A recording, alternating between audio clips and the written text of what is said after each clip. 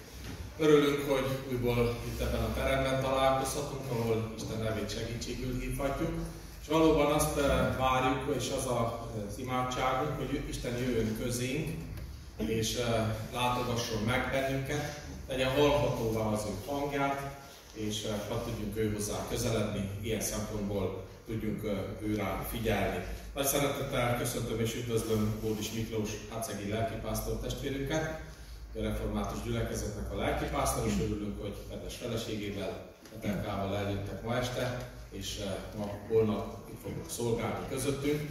Imádkozunk, hogy az Úr használja testvéreinket közöttünk az ige hirdetésében. Imádsággal folytatjuk összejövetelünket, amiután az Ászáv kórusnak meghallgatjuk még a szolgálatát, és az énekek után majd eh, bizonságtevést, eh, tanúságtételt fogunk meghallgatni Bródi Setelka testvérő részéről, hogy Isten hogy segítette meg őt az életének egy bizonyos szakaszában. Hívok és kérek mindenki szeretettel, hogy állj fel, és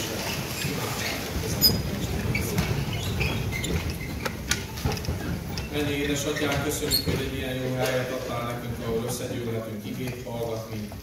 Köszönjük, Urunk, a város vezetőségét, hogy lehetővé tették, Uram, hogy ebben a teremben találkozhatunk.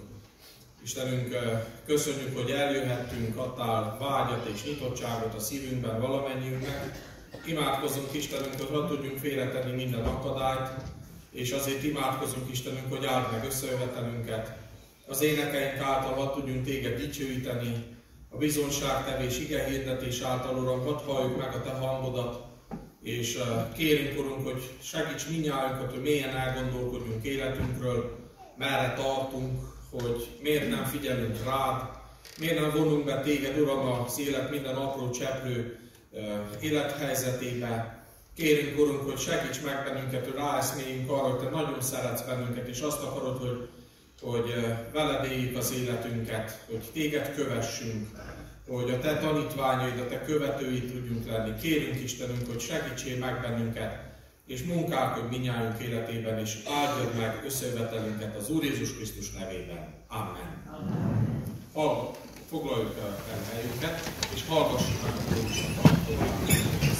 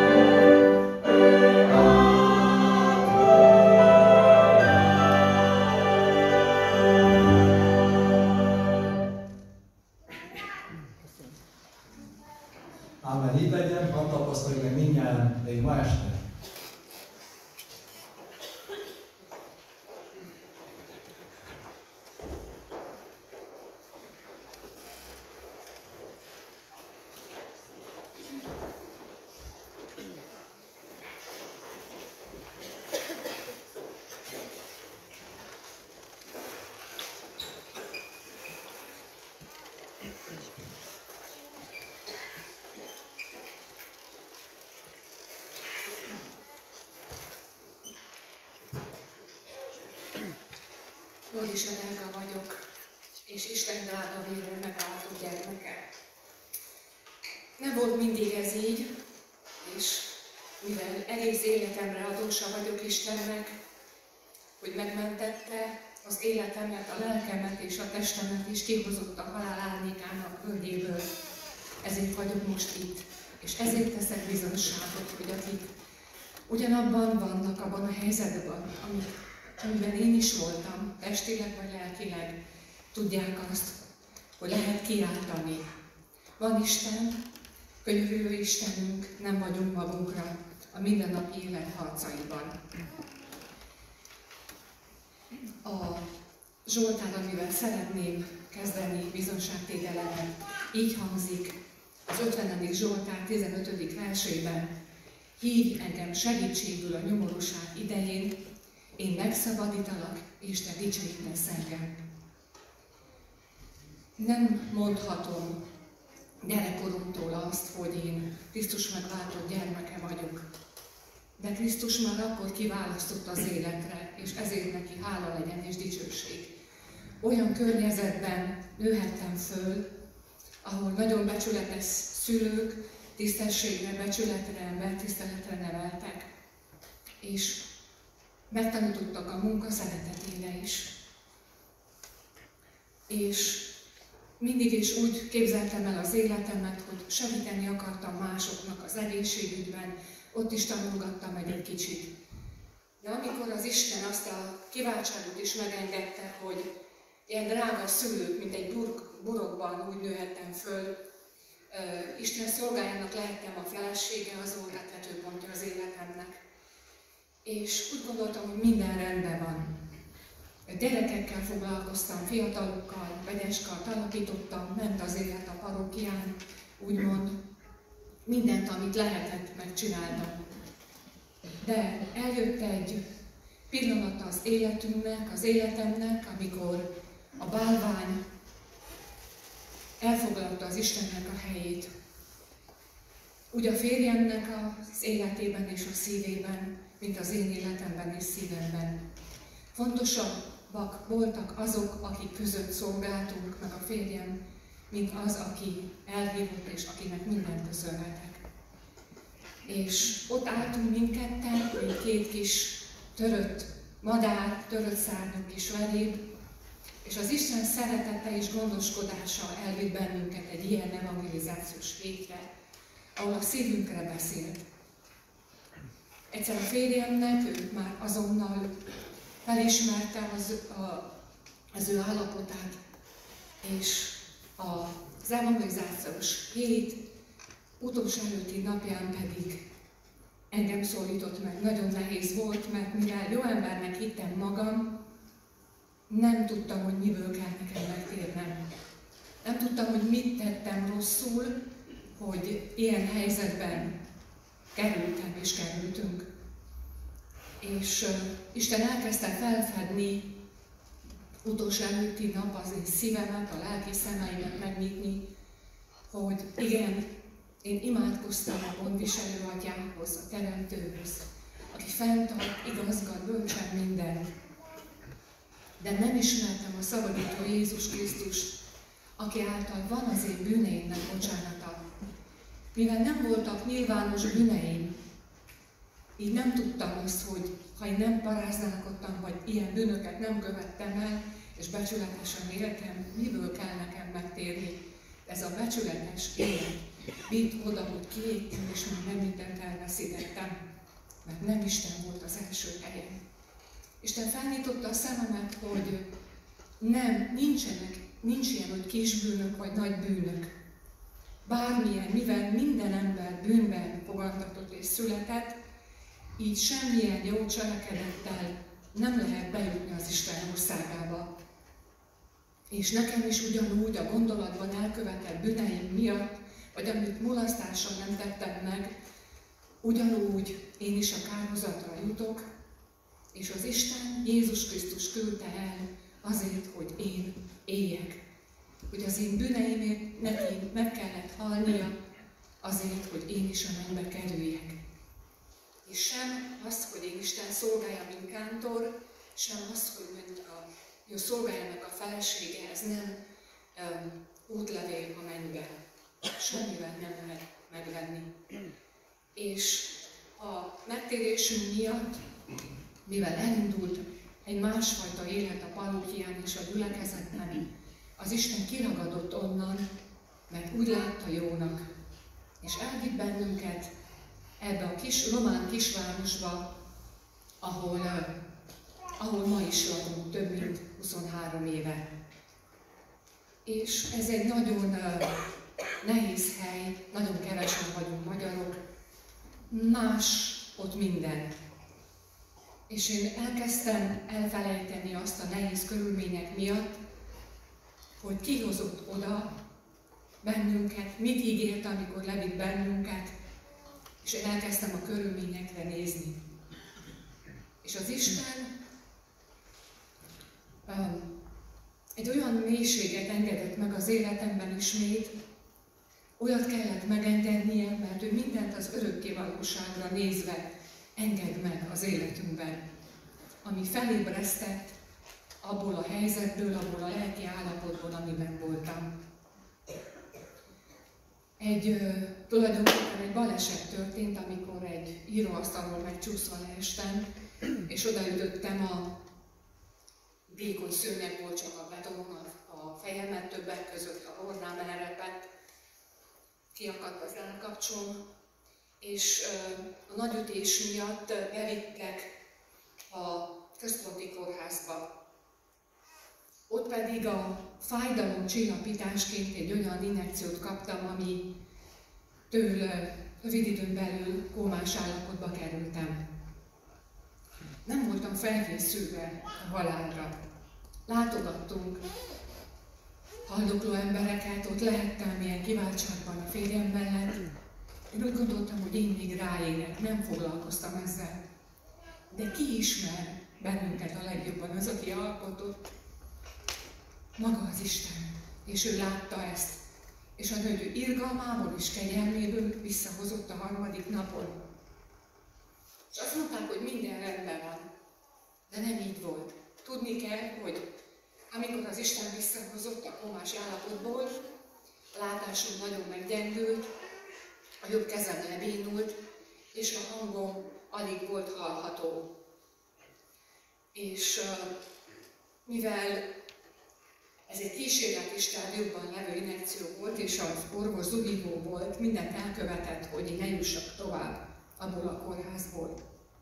És elkezdődött egy nagyon kemény, több hónapos harc az életemért. Isten megengedte ezeket, hogy megtanítson valamire, valamikre, be akarta nyitni a szemem.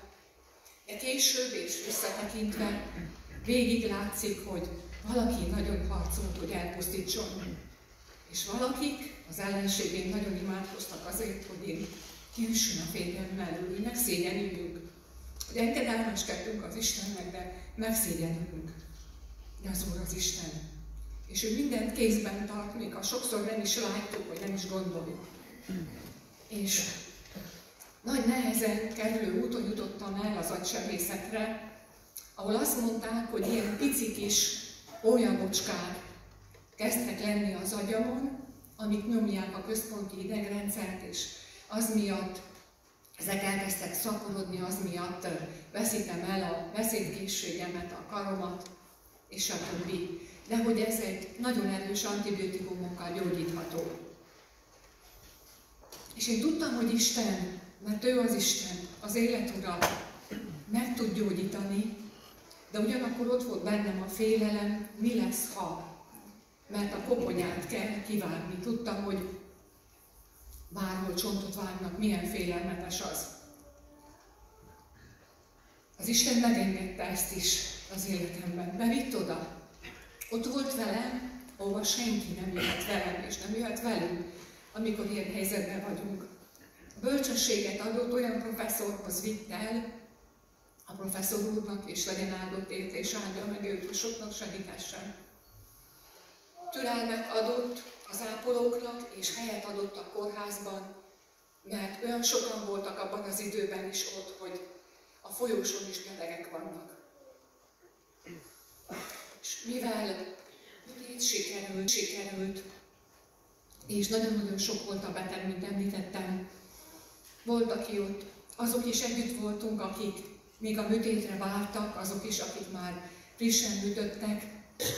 Ott voltam friss műt, frissen megműtve, haldokló kisgyerekek mellett, akik olyan hangot adtak ki, hogy az egészséges ember sem tudná már elviselni.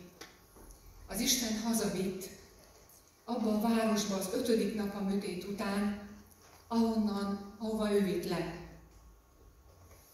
És uh, Tudni kell, hogy a műtétem időpontja sem volt véletlen, mint semmi más az életünkben. Vasárnap este volt. Vasárnap. Este 6 óra. Akkor, amikor az Isten népe összegyűl, és kiállt az Istenhez, és keresi az Istent, és hallgatja az ő hangját. És az Isten román népe, akik közé levitt bennünket, akik között addig szolgáltunk, ima támogatást kért a férjem, és ők felemelték a kezüket, és kiáltottak az ő nyomorúságban levő népéért, gyermekeiért. És az Isten meghallgatta, és áldja meg az ott élő testvéreket és mindenütt. és megkönyörült rajtam. És amikor lekerültem vissza be a kis városba, ott mindent elkövettek, de nem volt meg a megfelelő kezelés. Azt hitték, hogy himlős vagyok, közben megmérgeztek egyféle injekcióval, nem tudtak felelősíteni, és ismét vissza Kolozsvárra életveszélyben. Egyik kórházból vittek a másikba, keresték, kutatták, hogy mi a bajom, és nem kapták. Tudni kell, hogy sokszor már mentőt sem kaptam. A férjem ültetett be a, a gyülekezet autójába, ez is kegyelem is vitt, emelve is minden övé. És eljött egy pont, amikor elfáradtam. Még azt mondtam, hogy elég, többet ne kísérletezzenek rajtam. És úgy, hogy addig, aki nekem minden nap erőt adott, ebben a helyzetben is, és az igény által adta az erőt, férjem elkezdte olvasni az igét, az aznap igét. És tudni kell, hogy ebben az állapotban, amiben voltam, magas lázzal, ütött aggyal, mindig egy-két szót tudtam, vagy egy mondatot megjegyezni abból, amit az Isten az aznapi igéjében elmondott nekem. De az mivel az Isten szava volt, nem emberi szó, az emberi szó is nagyon fontos volt, mert igéket küldtek be nekem, még Magyarországról is a testvéreik. Ez adott nekem erőt. Ez megvilágosította mindig az aznapi harcra erőt adott, a lépést, a tennivalót, és így harcoltam, de akkor azt mondtam, elég. Elfáradtam. Annyi tévedés történt velem, nem adták be sokszor az infúziót, azt mondták, hogy ez cukros víz, nekem már úgyis mindegy. Nem adták be például akkor, amikor ezt az allergiát kaptam, a piszketés elleni injekciót kapartam, így a karomba, a férjem simogatta. Az is kegyelem volt, hogy őt beengedték ezekre a nagyon nehéz, súlyos betegek, ahol súlyos betegek vannak azokra a helyekre, mert az Isten mindig megadja, ő nem próbál elő fölött. Nekünk azt az igazi segítséget, ami számunkra segítség. És hogy mondtam, elolvasta az igét a lózunkból, és aznap Jobbnak a története volt, Jobbnak a, a próbája, hogy egyszer Isten ugye a jószágait, szolgáit, mi történik vele, elveszíti egy-egy maradt hírmondónak, és végül pedig meghalnak a gyermekei is. És elég, azt mondtam, elég, ne olvast, úgy fellázadtam az Isten ellen. És rögtön, mivel az Istennek vagyok félretéve, a belsőmből szólt, lecsillapította a szívem, a lelkem, tehát hol vagyok én jóktól, mindenen áldás van, csak az egészségemet ingatta meg. És ő megvigasztalta a szívem, olyan volt az ő igény akkor is, mint a, a balzsam az én szívemnek, lelkemnek. És tudni kell, hogy átvittek ekkor az onkológiára, akkor épp a nyírók mirigyben keresték, hogy nem ott van megbújva a rák, de ott meglátták, hogy annyira gyenge vagyok, hogy nincs mit kezdjenek velem, ha elaltatnak, akkor én ott maradok az asztalon. És így kerültem vissza ebbe a kórházba, ami a fertőző volt, így meg nem tartottak, hogy minden betegséget elkapok. Tehát alig tudtam a fal mellett menve elmenni saját magamért. És itt történt ez. És Isten megvigasztalt, lecsendesített, és másnap éhesen mentünk át az onkológiára. És másnap az ige a 74. Zsoltár végén volt, most már kelj fel, Uram, és harcolj a te ügyedért. Én az övé vagyok, hozzá tartozom a létéhez. És ott a Zsoltár vége felé írja, hogy a megrontottak a te gerlicédet, ne érje szégyen. És olyan jó volt, hogy az Isten előtt számon voltak tartva az én sóhajaim, félelmeim, számon voltak tartva az én napjaim, a hajam szála. És ismét ima támogatást kértünk, Isten magyar népétől, Marosvásárhelyen, Kolozsváron, akik ott végig jöttek be, és segítettek meg édesanyja, kislányunk volt édesapa, az ő otthonukban rendezte a velem volt. És olyan erőt adott másnap az Isten, úgy éhesen. Úgy éreztem, mintha nem is a földön lennék, mint a föld felett lebegnék. Annyira éreztem, hogy az Isten velem van, és harcolnak értünk, és kiáltanak értünk. És úgy toltak be, rögtön kaptam egy széket, ami ott a megint egy csoda, annyi a beteg. Rögtön szobám lett, betoltak, nem kellett elaltatni, hanem mindig, amikor fájt, akkor kaptam még egy kis zsibbasztót, magamnál lehettem, és tudtam imádkozni az orvosért. Először magyar nyelven, aztán román nyelven. Az nekem nagyon, az is lehetetlen abban az állapotban, és hiszem azt, hogy Isten az orvos életében is fel tudja használni. És mind akik szalagon mennek a műtétek, az altató orvosot is hagyott, látta, hogy nincs szükség, kiment, de ott volt, ott maradt mellettem az Isten. És tíz napig várni kellett, ameddig megjön a biopsziának az eredménye, hogy hogyan tovább megint. És ez alatt akár csak a többi kórházakban az Isten rámutatott nagyon sok mindenre. Először is, hogy több az élet. Több az élet, mint a körülmények. Másodszor a kiváltságra, hogy az ővé vagyok. Az, hogy legyek elégedett. Tanuljak meg hálát adni a kevésben is, és tanuljak hálát adni és dicsőíteni a többen is. Nem a gyülekezet presbiterje mondja meg, hogy én szegény vagyok, mert ezt mondta egy templomból kijövetel, és akkor nyomódott úgy rám, akkor terhelődött úgy rám, hogy hol is vagyunk, és mit gondolnak rólam ott azok az emberek a gyülekezetben. Pedig mindenünk megvolt. Az Isten gondoskodott a szüleim által, gondoskodott testvérek által. Semmiben nem szenvedtünk hiába. Az én szívemben volt elégedetlenség. Aztán, hogy hogyan kell szeretni, hogyan kell szolgálni a társainkat, hogyan várjam haza.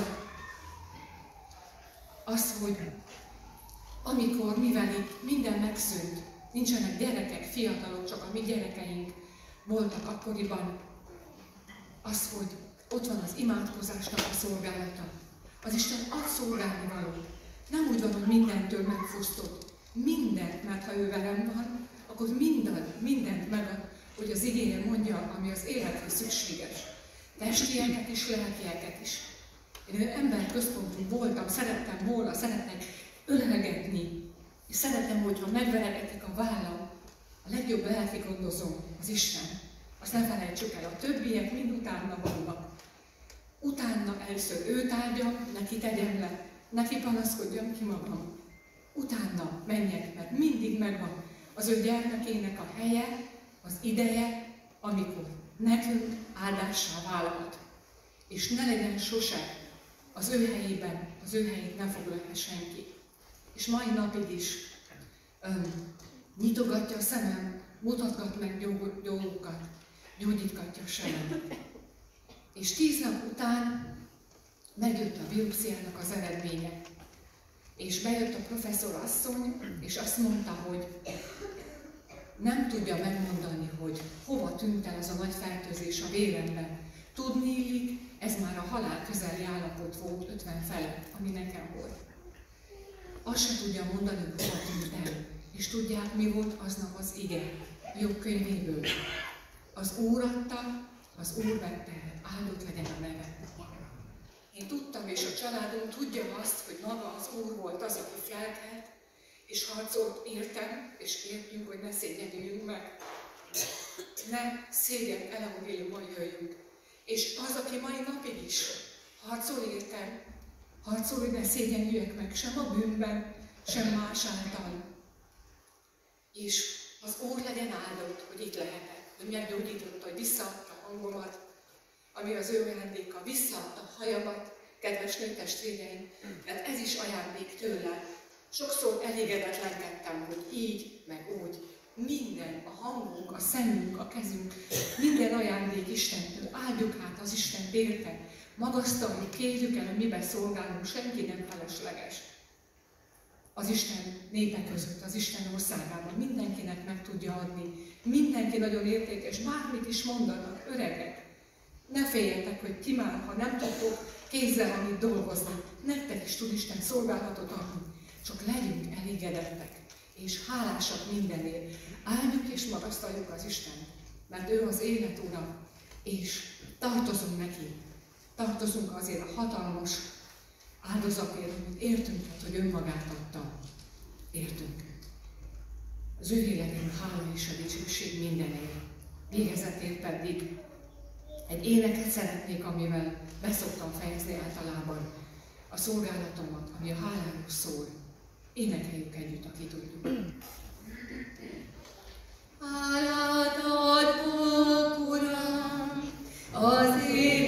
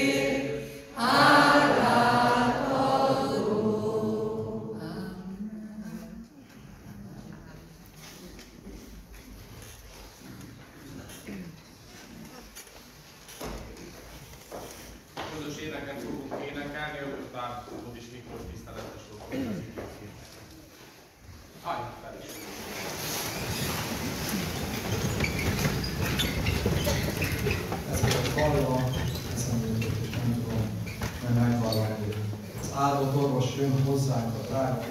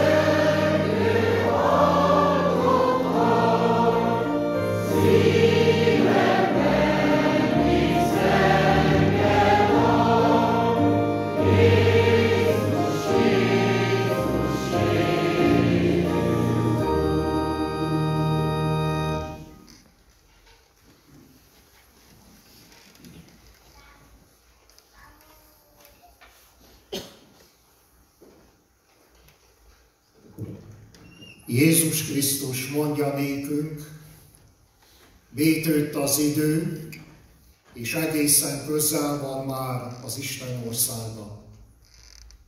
Térjetek meg, térjetek meg, és higgyetek az evangéliumban. Amen. Drága testvérek, ma este az élő Istennek a szavát a Máté evangélium a 20. fejezetének első 16 verséből olvasom. Hogy az élő Isten hozzád és hozzám ezen az estén miképpen szól, megírva található az ige a Máté evangéliuma 20. fejezetének első 16 versében.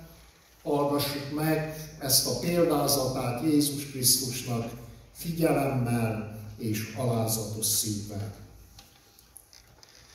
Hasonló a mennyek országa egy gazdához, aki korán reggel kiment, hogy munkásokat fogadjon a szőlőjében. Miután megegyezett a munkásokkal napi egy dénárba, elküldte őket a szőlőjébe. Amikor kiment kilenc óra tájba, látta, hogy mások is állnak a piacon tétlenül, és ezt mondta nekik. Menjetek ti is a szőlőbe, és ami jogosan megillet benneteket, megadom nektek. Azok pedig elmentek. Ismét kiment 12 óra körül, és délután három óra tájba, és ugyanígy tett. Amikor pedig késő délután öt óra tájba is kiment, még mindig talált olyanokat, akik ott álltak, és megkérdezte tőlük, miért álltok itt egész nap tétlenül? Azok pedig így válaszoltak, mert senki sem fogadott meg bennünket. Erre ezt mondta nekik, menjetek ti is a szőlőbe. Amikor pedig este lett, ezt mondta a szőlő gazdája a vincellérjének. Hívd elő a munkásokat, és fizes ki nekik a bért, az utolsókon kezdve az elsőkig. Ekkor jöttek azok, akik öt óra tájba álltak munkába, és kaptak egy-egy dénárt. Amikor aztán az elsők jöttek, azt gondolták, hogy többet kapnak, de ők is csak egy-egy dénárt kaptak. Amikor átvették, zúgolódni kezdtek a gazda ellen.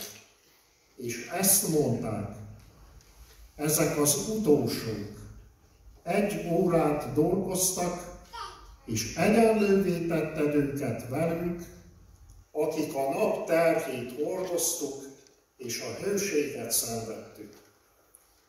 Ő pedig így felelt egyiküknek.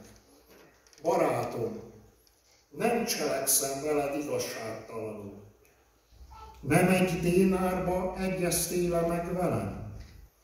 vedd ami a tied, és menj el. Én pedig az utolsónak is annyit akarok adni, mint neked. Hát nem szabad nekem azt tennem a javaimmal, amit akarok? Vagy a te szemed azért gonosz, mert én jó vagyok? Így lesznek az utolsókból elsők, és az elsőkből utolsók.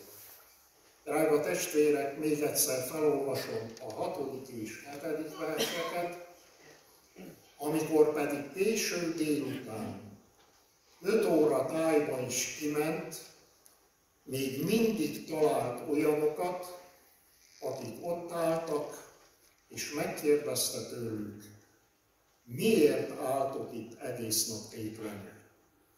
Azok pedig így válaszoltak, mert senki sem fogadott meg bennünket. Erre ezt mondta nekik, menjetek ti is a szőlőbe. Erre ezt mondta nekik, menjetek ti is a szőlőbe. Amen.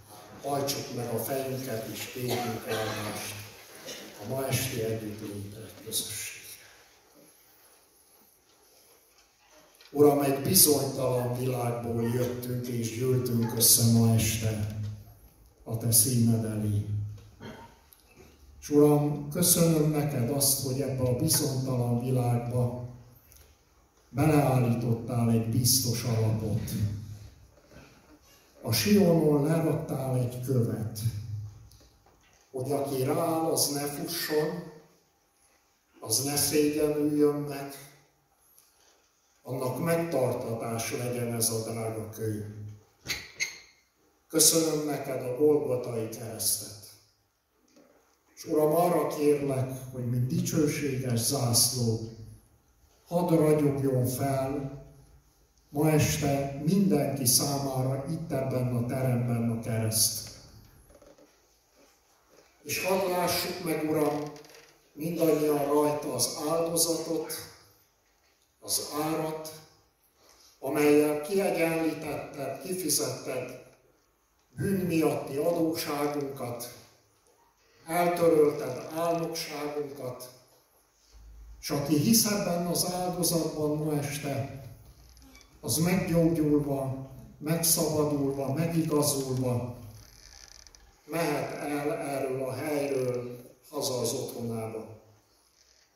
Arra kérlek, drága Szentlélek, hogy cselekedd meg, hogy ma este, ami itt elhangzik, ne emberi beszéd legyen, hanem Istennek ereje minden hívőnek üdvösségére.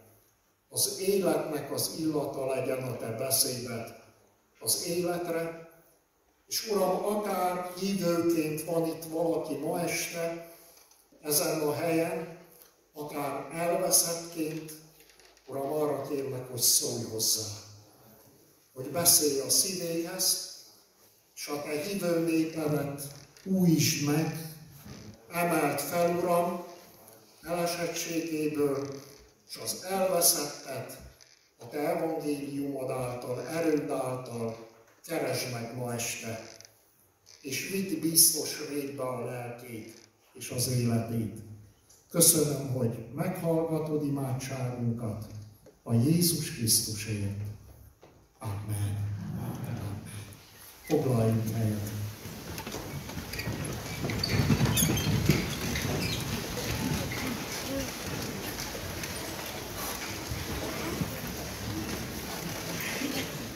Drága testvérek, szeretettel köszöntelek benneteket ma este.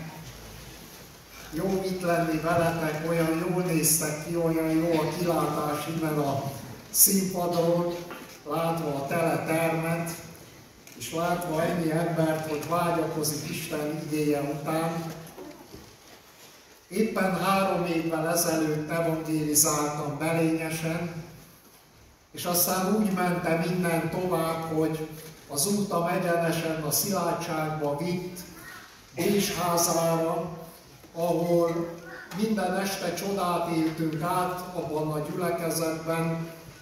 700-800 ember jött a nagy hóba hallgatni Istennek igéjét, az evangéliumot, a presbitérium, mintha nem is a földön jártak volna, hanem így a levegőbe, jöttek be a parókiára, és mondták a lelkésznek, hogy a szomszédból már mindenkinek a székét átvitték a templomba, elfogytak az imateremből a padok, elkérték a lelkésznek a konyhájából, meg az irodájából, még a számítógép asztal elé is betett körszéket, annyi ember volt az Isten tiszteleten, és utolsó este több mint 120 ember adta át az életét, jött előre, hogy az Úr Jézus Krisztust akarja követni. Aztán, drága testvérek, elvitt az utunk a feleségemmel Nyírmegyesre, Máté Szalka mellé, ott is hirdettük az evangéliumot, és rá egy hétre pedig a lányaimmal Ceglében a nagy templomban evangélizáltunk egy hetet, és az utolsó nap Éppen, hogy átsúsztunk a magyar-román határon, március 14-e volt, másnap lezárták a határt, és bezárták a templomoknak az ajtaját. És drága testvérek, tudjátok, hogy mi volt bennem? Egy olyan időszak következett az életembe, hogy én olyan nyugodtan nem aludtam éjszakákon keresztül, mint akkor. És az volt bennem, hogy aki bújt, bújt, aki nem, nem, az Úr jön! Az Úr jön, testvérek! És ahogy vagy, ahogy vagy ma este, ahogy leszel azon a napon, amikor visszajön, úgy talál téged. Ha megtért ember vagy, ha újjá vagy születve, akkor úgy talál. Abban az állapotban. Ha elveszett ember vagy, ha még a bűnben van az életed, ha még nem tértél meg, akkor úgy fog találni. Jöttek utána testvérek, jöttek nem hívők, hogy a konspiratív elméletekkel, hogy Miklós a nagyhatalmak, a zsidók, a, de tudod, ez csak a fő próba. Ez csak a fő próba. Nézik, hogy hogy reagálunk a vakcinára, nézik, hogy hogy reagálunk a bezárt ajtókra, nézik, hogy mi a véleményünk a bezárt templomajtókról, és testvérek, akiknek az volt a véleményük, hogy ez humbuk a hátszegi baptista 800 lelkes gyülekezet, meg a Födzseti pünkösdista gyülekezet, akik nem akarták bezárni az ajtót, bezárták, mert mind bekerültek a kórházba, több mint tucatjával haltak meg a városban, a gyülekezetben, felébredtek, hogy ez, ez komoly dolog. De tudjátok, testvérek, én is azt mondom, hogy ez a főpróba volt. A prelúdium volt. A fuga volt. Tudjátok ki részéről? Az Isten részéről. Mert itt a templomok ajtaját nem az Antikrisztus zárta be. Tovább szólott az evangélium még erőteljesebben, interneten, zoomon, Számítógépeken lehet, lehetett hallani az evangéliumot. Legyetek nyugodtak, mikor megjelenik az Antikrisztus, az első dolog az lesz, hogy lezárja a Facebookot. Elvágja a kábelt, és nem megy majd az internet, hogy a házból, a fotelből, az ágyból nézem az evangélizációt. Amikor eljön az Antikrisztus, izolálni fog, bezárni fog, ahogy bezárta most a templomajtót, bezárja akkor is, mert megvan a főpróba, és elvágja az összes szálat a testvéreiddel való közösség ápolására, az evangéliumnak a hallgatására, és kezdődik a nagy nyomorúságnak az ideje. És drága testvérek, itt az a kérdés, hogy téged az a nap hogyan fog találni. Hogy neked akkor, amikor majd megjelenik, lesz-e üdvösséged, lesz-e örök életed, mert azt nem akkor adják. Nem akkor ébrednek fel majd a bolond szűzek, hogy nincs olaj. Hanem testvérek, ott realitás lesz. Akinek van olaj, akiben van Szentlélek, abban van, és akiben pedig nincs, mert nem törődött, abban nincs, azt úgy találja ez a. És drága testvérek, mi nem figyelünk valamire, ami pozitív, utolsó jele ezen a világon Jézus Krisztus eljövetelének a világ végének. És ezt tudjátok, hogy micsoda? az evangéliumnak erőteljes hirdetése. Azok az idős testvérek, akik most itt vannak, és több mint 30-40 évesek, gondoljatok bele testvérek abba, hogy 40 évvel ezelőtt, gondoljatok, hunjátok be a szemeteket, Lehet, hogy még rossz is rá gondolni, de gondoljatok bele 40 évvel ezelőtt a belényesi polgármesteri hivatal dísztermébe evangelizáció. El tudod ezt képzelni 40 évvel ezelőtt? És testvérek, nézzétek meg, hogy polgármesteri hivatalok dísztermébe, stadionokba, kórházakba, akkor mész be zenélni, akkor mész be karácsonykor börtönökbe. Prédikáltatik Isten igéje. Még erőteljesebben, még hatalmasabban, hogy senki, aki elveszik, ne mondhassa azt, hogy ő erről nem tudott. Neki ezt nem hirdették. És drága testvérek, ahogy én elmentem Belényesből, utána azonnal jött Gál Lajos testvére. És hirdette az evangéliumot. És utána jött Mike Sámuel, és hirdette az evangéliumot. És utána jöttek igehirdetők, és hallottam Sándor testvéremnek a sorozatos magyarázatát a Youtube-on a jelenések könyvéről. Mindarról, ami lenni fog. És hadd kérdezzem meg tőletek, mit csináljon még az Isten? Mit csináljon még az Isten? Mi újat mondjon nektek még az Isten? Mert nem tud újat mondani, csak azt a keresztet tudja hirdetni, amelyről Pál azt mondja, hogy meghalt a világ az én számomra, és én pedig meghaltam a világ számára. Hogy ülsz ma este itt ebbe a teremben? Van-e üdvösséged? Van-e bűnödnek bocsánata? Tied-e az örök élet? És megvan-e ez a bizonyosság a szívedben, hogy neked örök életed van? Mert testvérek, a főpróba, az előjáték, a prelúdium megtörtént, és testvérek, ezután következik a realitás, a valóság, amiről azt hiszük, hogy színdarab sokszor. Azt vettük észre, hogy ez nem csak a tévében történik meg, hanem ez megtörténhet személyesen a mi életünkben is. Készen vagy? Készen vagy? Mert, mert ő jönni fog.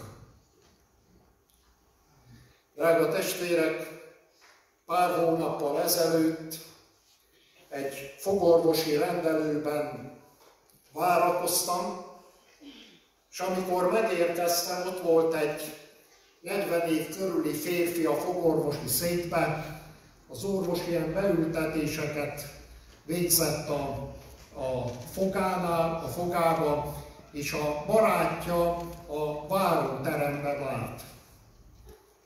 És ahogy megérkeztem rövid időre rá, megszólal az orvos, és azt mondja, hogy jó van, rendben vagyunk, 30 millió. Láttam, hogy a várom terembe a széken a barátja lemered.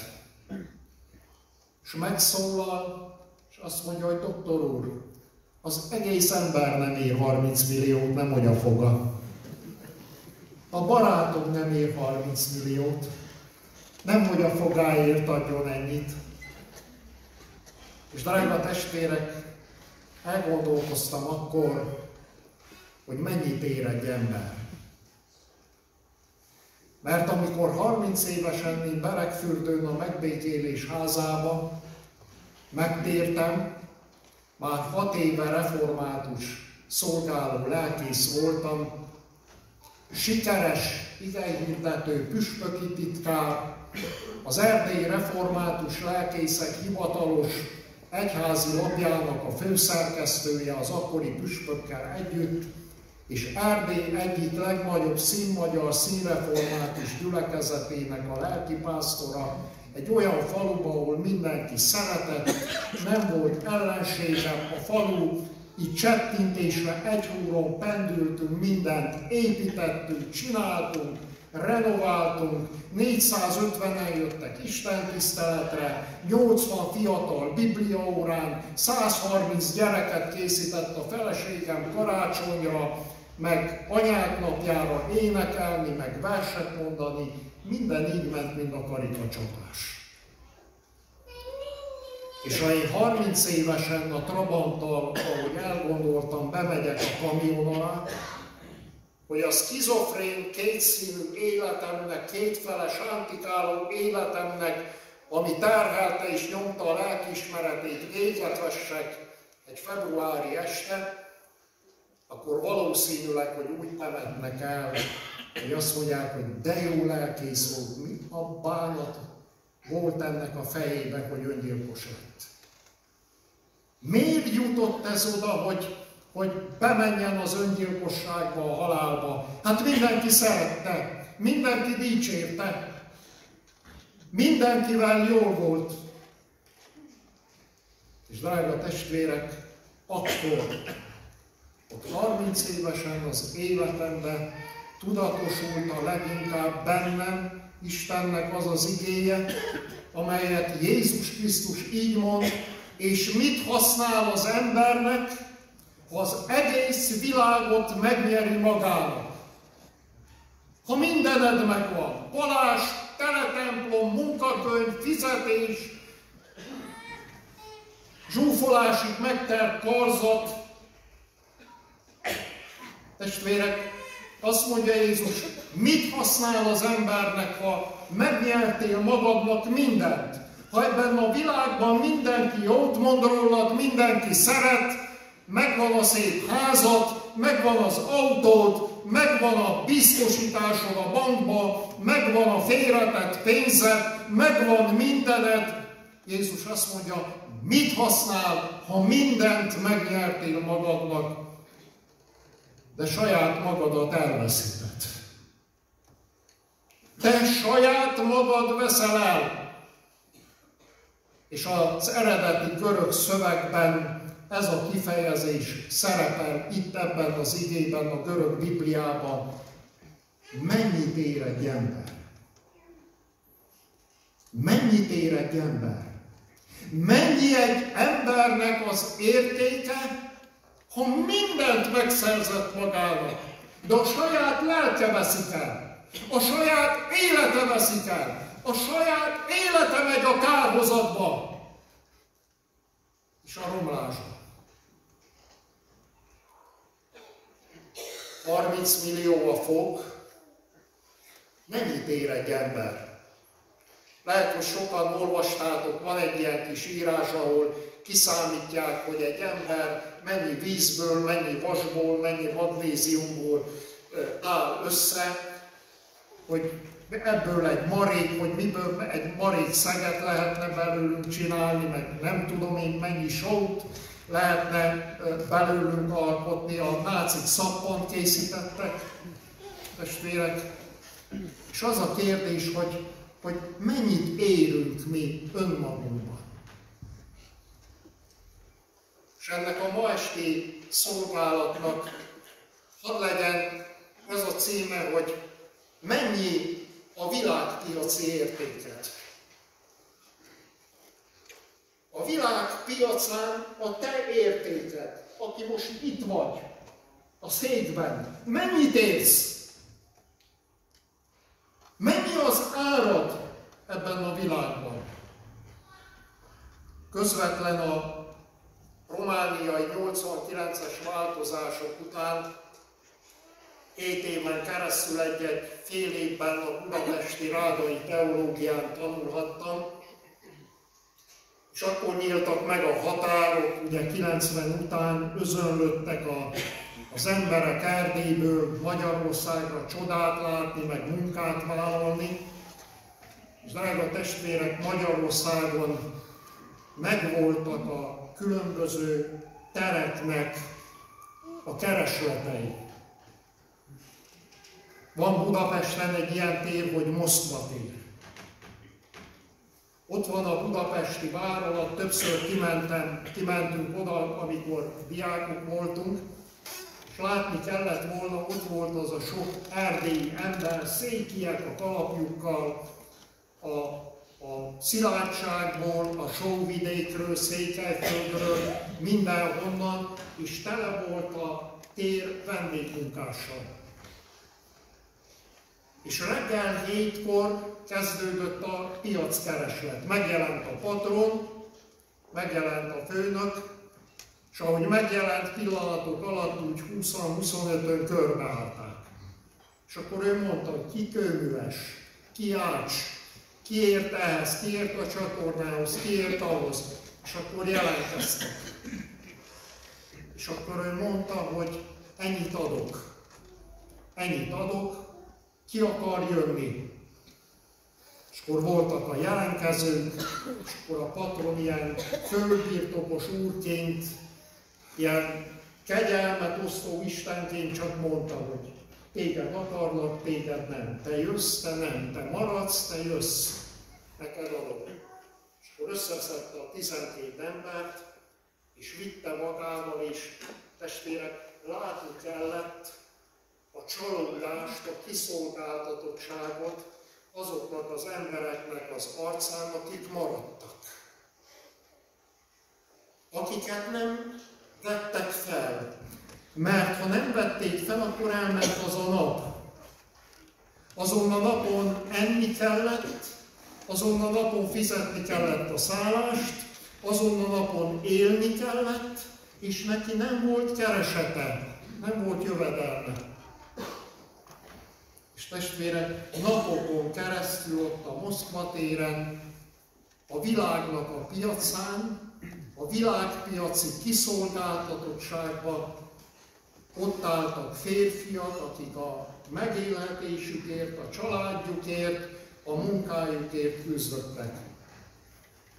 Aztán volt Budapesten egy másik tér. Arról azt mondták, hogy ha nőt akarsz, ha szex kell, ha pornó kell, ha hús kell, akkor oda menj. És volt egy lelki gondozói beszélgetésem egy öreg, drága hívő barátommal, aki nekem bizonságot tett, és elmondta, hogy ő fiatal korában kiment egy ilyen térre. És megkérdezte az egyik prostituáltól, hogy mennyibe kerül a prostituált felemelte a cipőjét, és a cipője talpára oda volt írva az ár, hogy mennyi. Azt mondta a testvérem, na Miklós testvére, ekkor jött el az a pillanat, amikor megcsömörlöttem magamtól. Ekkor jött el az a pillanat, amikor eljutottam oda, hogy megláttam, hogy hova jutottam el. Hogy ott vagyok a prosti piacon, nem eladóként, hanem kereslőként. Kereslőként. Aztán testvérek volt egy másik piac. Így hívták, hogy a Lehel piac. Ott mindent kaptál, ami jócska. Ami kiszuperált amit átvittek ebből az országból Magyarországra. Valamit csodát akartál, valamit akartál, azt a leárpiacon hoztál, ott mindent meg lehetett venni. Oda kellett menni, mert ott találtál. Drága testvér, megkérdezhetem ma este tőled, mi a bánatot keresel a prosti piacon? Mi keresni valód van neked a prosti piacon, a parázna piacon? Meddig sántikálsz kétfele? Mert aki a világ barátja akar lenni, az ellenségévé válik az Istennek. Kinek vagy a barátja? Ott azt mondja Jakab, hogy ti két lelkűek. Tudta ott a Biblia fordító Károli Gáspár, hogy mi magyarok is finom lelkűek vagyunk, mint a porcelánok, nehogy megsértsenek bennünket. Tudjátok, hogy a román Biblia azt hogy fordítja, hogy ti két lelkűek? A Jakab levelében. Így fordítja, hogy suflete preacurvare. Suflete preacurvare. Kurválkodó lelkek. Nem tudjátok, hogy a világgal való barátság ellenségeskedés az Istennel? Kinek a barátja vagy? Kinek akarsz tetszeni? És mit illegeted, billegeted magadat, fested magadat, meg kened magadat, meg sprézed magadat, meg díszíted magadat a prosti piacon? Férfi testvéreim, mi áll a fejetekbe? Mit nézel az interneten, amikor nem lát a feleséged a családot? Mi van a gondolatvilágodban? Nem-e ott vagy a prosti piacon, á, nem eladottként, mint ahogy Izraelnek mondja az Isten, hogy kiültél a magas tetőre, kelletni magadat. Nem, keresőként. Azt mondja az Isten Izraelnek, hogy a prostik azok kapják a pénzt. És azt mondja, te oda jutottál, hogy te adod a pénzt. Te még aljább vagy a prostinál, mert az a szolgáltatásaiért kapja a pénzt. Te adod a pénzt azért, hogy paráználkodj. Mit keresel az ócska piacon? Mit keresel az ócska piacon? Szagosan. Mit keresel naftalin szagosan? mint ócska dolog a világnak a piacán, amikor neked értéked van. Te drága vagy. Érted, az Isten kifizetett árat, nem akármilyet. Mennyi a világpiaci árat? Mennyi az értéket? Idő Szimányi Józsi bácsi mesélt nekem, hogy mielőtt elvitték volna Szibériába, a KGB behívta az ungvári kihallgató központba, és behívta egy őrnagy, és azt mondta, hogy üljön le. Van egy ajánlatunk a maga számára. Az ajánlatunk a következő. Magának, kárpátaljai református lelkésznek őrnagyi rangot adunk a KGB-ben. Az őrnagyi ranggal járó minden kiváltságot, fizetést megadunk magának, adunk egy fekete volvót, akkor volt ez álomautó a Szovjetunióban, meg talán Európában is, és maga lesz Kárpátalja püspöke a református egyházban. És Józsi bácsi ránézett a tisztre, és azt mondta, hogy jaj, drága ő nagy úr, Hát én ennél csodálatosabb ajánlatot életemben nem kaptam. Amit, amit maga ajánlott nekem. De van egy gond. Mi a gond? kérdezte a KGB minden. Hát az a gond, őrnagy úr, hogy én már a kislábújamtól a hajszálamig el vagyok adva. Eladtam magamat. És még egyszer nem adhatom el ami egyszer már el van adva, még egyszer nem adhatom el. És azt kérdezte az őrnagy, kinek adta el magát? És Józsi bácsi azt mondta, hogy Jézus Krisztusnak. Megvett, megváltott. Nem adhatom el még egyszer magamat. És drága árat fizetett. Mennyi az árat? Nézzétek csak, a József testvéreinek megvolt a testvérüknek az ára, hogy mennyibe kerül. Amikor kihúzták a kútból, akkor azt mondja az ige, hogy 20 pénzére adták. Egyiptomba rabszolgának. Megvolt Józsefnek a cekje, hogy mennyit ér a testvérei számára. Judásnak is megvolt a cekje. Mindenki azt mondta, hogy elből adta, elből adta el, de hogy elből, pénzért adta el. Pénzért adta el, és megvolt Jézusnak az ára, hogy mennyit ér meg neki Jézus. És neki Jézus 30 ezüstpénzt ért meg. Azt mondja Jeremiás könyvében, hogy felértékelték ez a názáreti, a nezer, a hajtás. Felértékelték az árát, hát nagyra értékelte 30 ezüstpénzre. Neki ennyit ért Jézus. A te árad mennyi?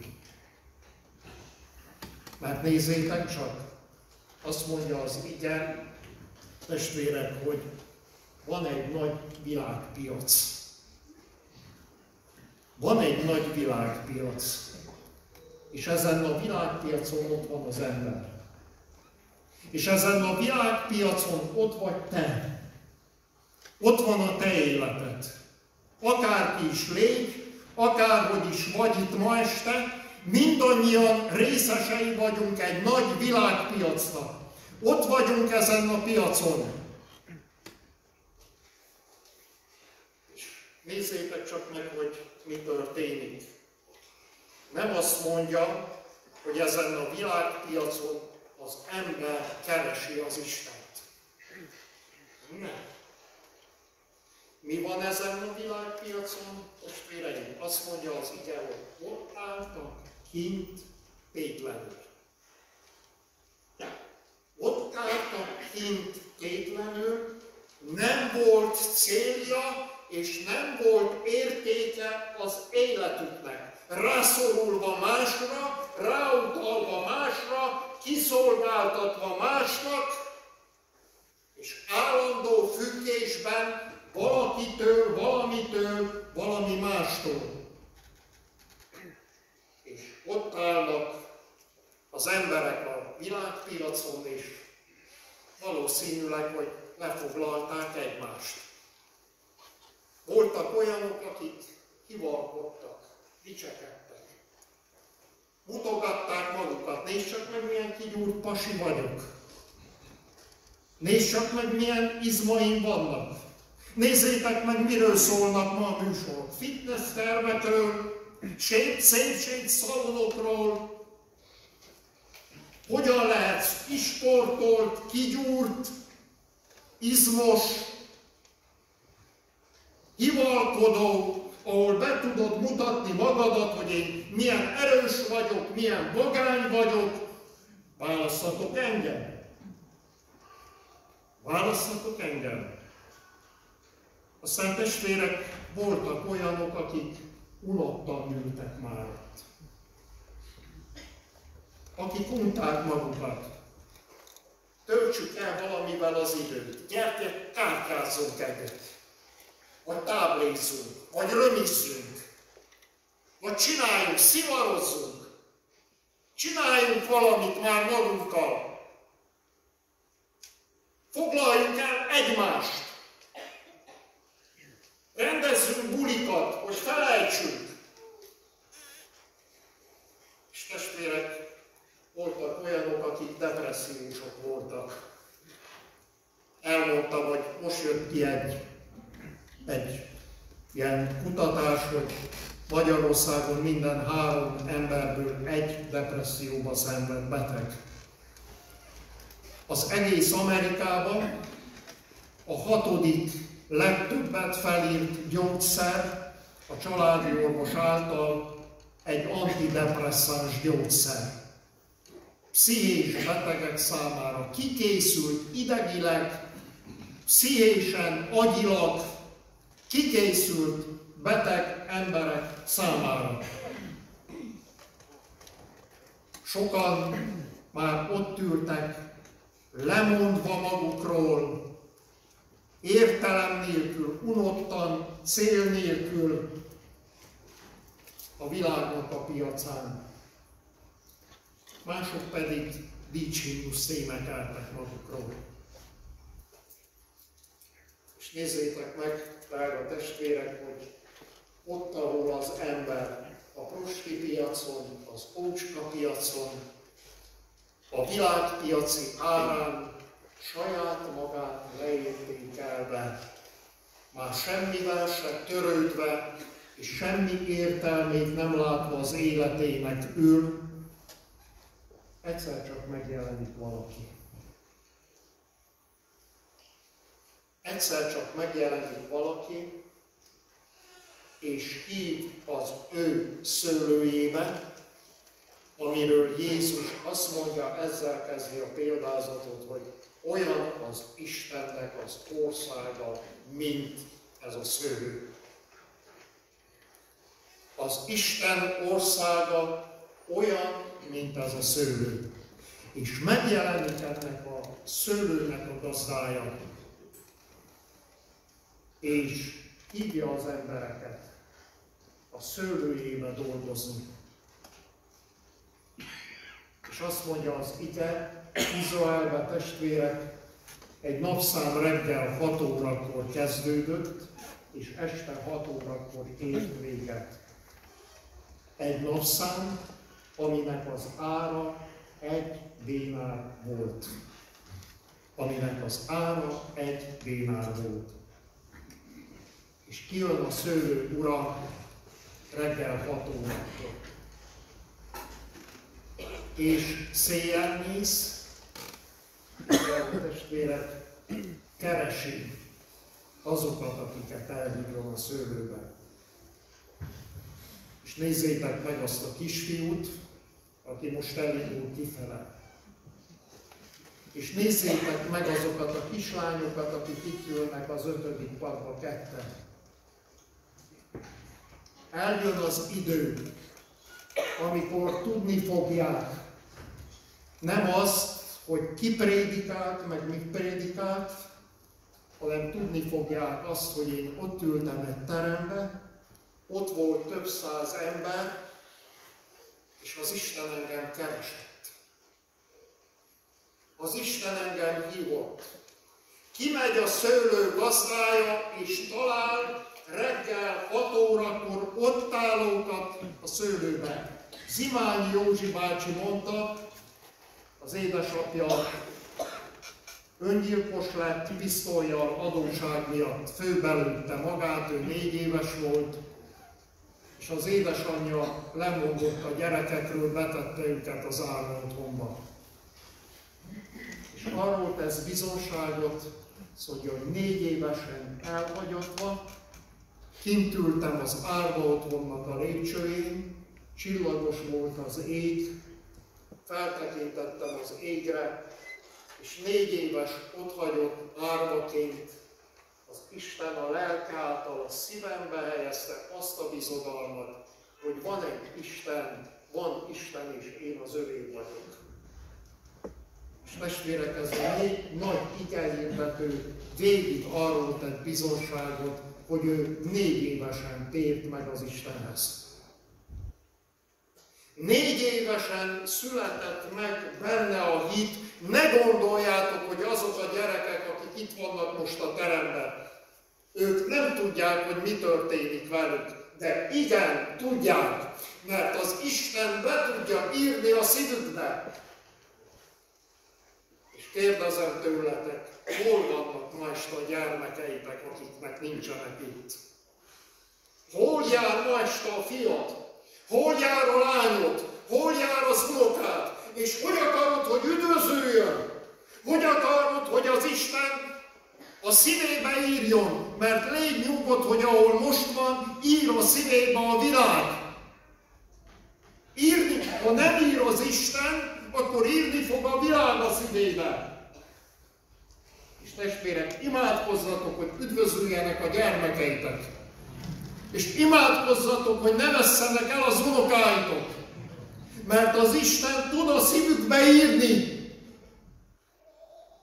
Kimegy reggel hatkor, és meglátott állni kicsiket, és azt mondja, hogy gyertek a szőlőbe. Aztán kimegy 9 órakor.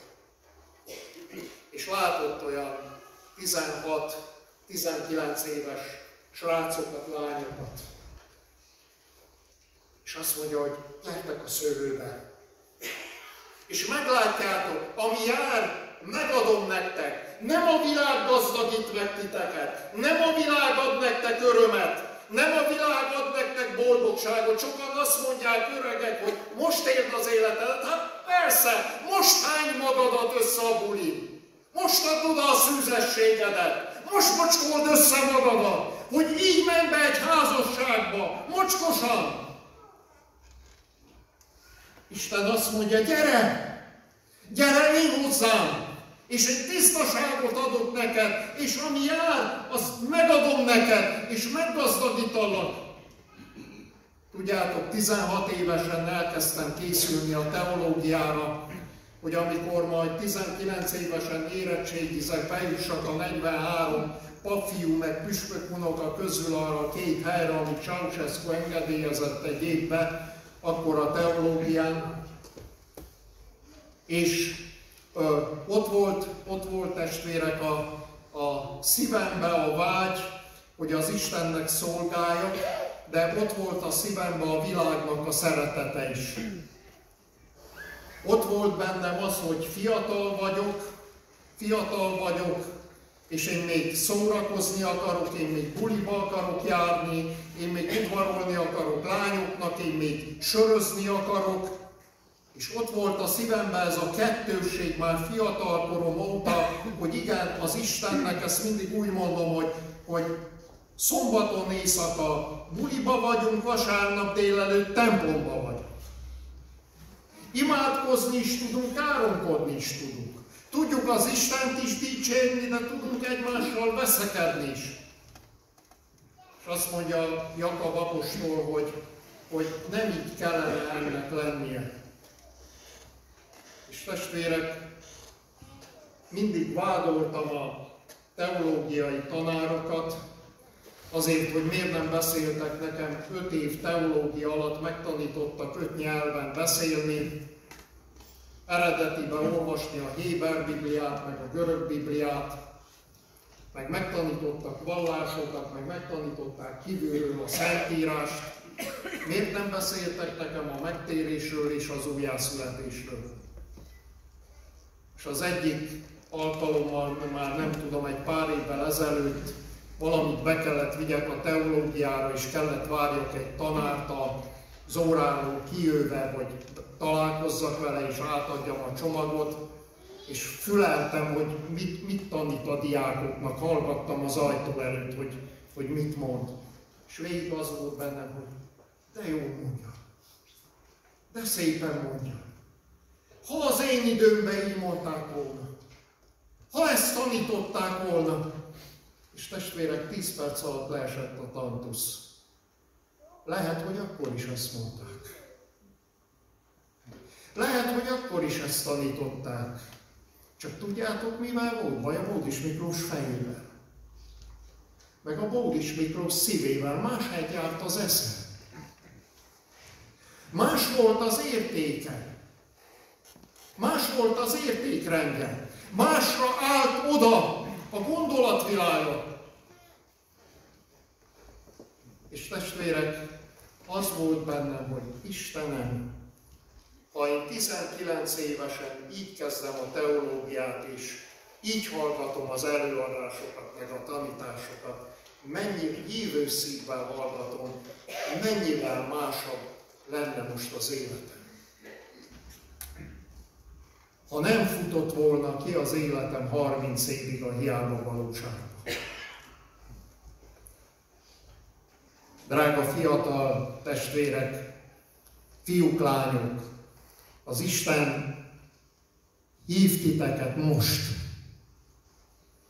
És azt mondja, hogy most gyere, 17 évesen, 19 évesen, 21 évesen, most gyere és kövesd az Urat, ne rosd el. Ne rosd el az életet. Gyere te is a szőlőbe, és meglátod, hogy az Isten megadja neked, ami jár neked. Hát ha elmondom nektek, hogy megtérve, hova jutottam el a nagyvilágban, és fiúk, micsoda actioneken, akciókon mentem keresztül, hát nem vágnátok zsebre. Nem vágnátok zsebre. Azt hiszitek, hogy az Isten titeket ki akar fosztani, meg akar szegényíteni. Az az Isten, aki odaadta érted a fiát, Gyere és nézd meg, hogy micsoda kaland lesz az életed, ha Jézus Krisztus követed. Csak gyere most, ne várj! Most add oda a szívedet, és meglátod, hogy mindent másképp hallgatsz, mindent másképp értékelsz, mindent másképp döntesz. Párválasztás, munkahely, ott van még előtted. Sok minden. Csináld Krisztussal. És aztán testvérek, kimegy a gazda 12 órakor is. És hívja itt ma este azokat, akik olyan 30-40 évesek, ahogy hívott engem is. És elmondta a testvérek, hogy ott voltak a piacon prostiként, ócskaszerként, világpiaci árként, 30 évesen, mint tudjátok, hogy hogy ültem a világpiacon? Koldusként. Koldultam a világpiacon, lelkészként, sikeres lelkészként. Nézzétek csak meg, hogy a legtöbb beteget Jeruzsálembe Jézus hol meg? Hol meg a legtöbb beteget? Vakot, sántát, a tanítványok. Tudjátok, hogy hol?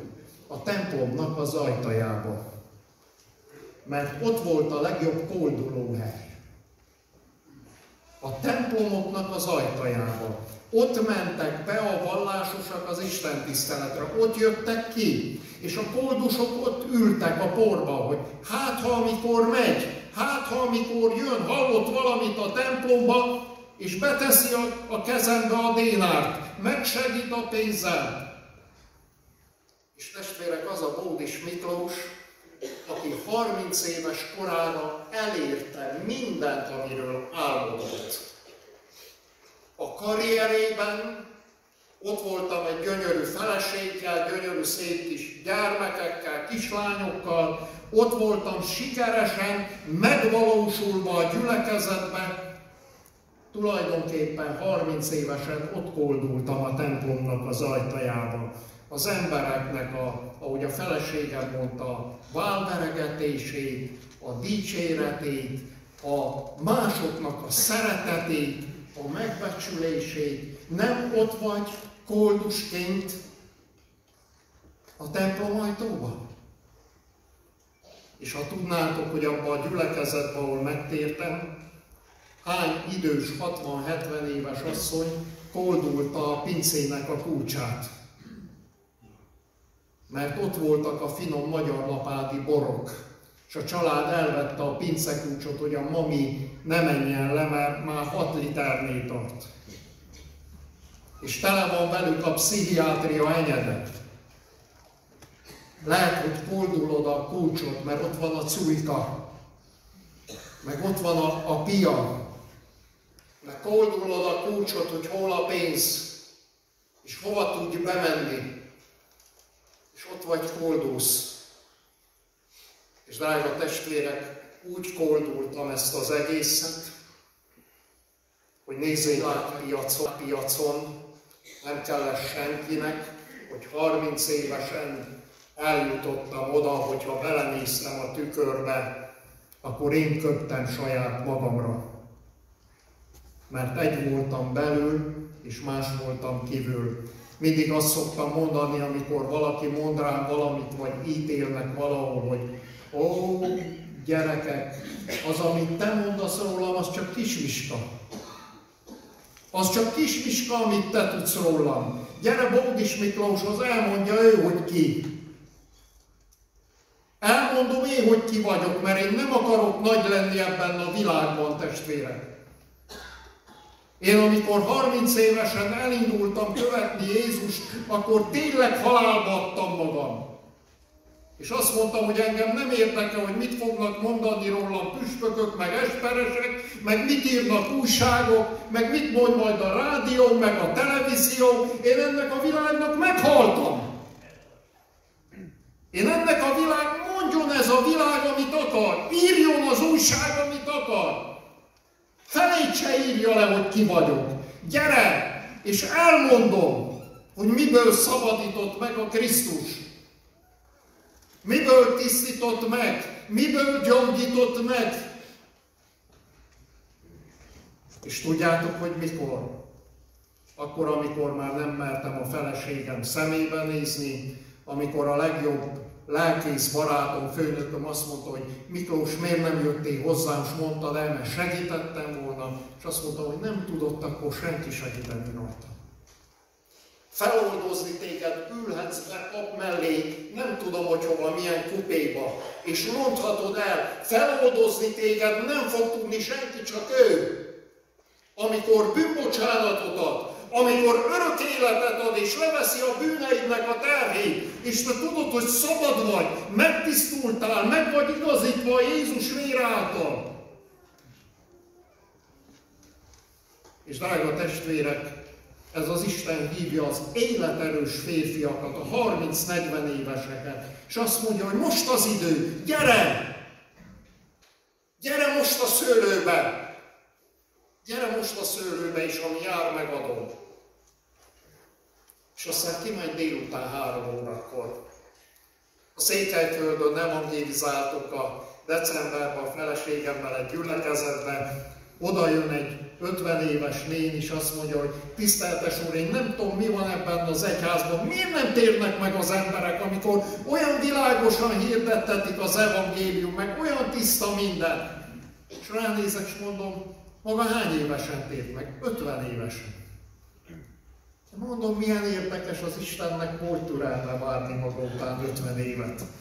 Maga meg most 52 éves, nincs türelme. Két, két év után már miért nem térnek meg az emberek? Mennyit várt utánad az Isten? Mennyit várt utánad az Isten? És most ott vagy 50-60 évesen. Nem lenne itt az idő, hogy gyere?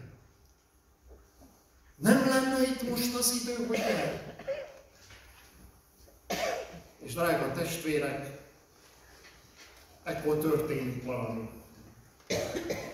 6 órakor befejeződik a napszám. És az ige azt mondja, hogy este 5 órakor, egy órával zárás előtt a szőlő ura kimegy a piacra, és azt mondja az ige, hogy még mindig találtott olyanokat, akik ott álltak tétlenül.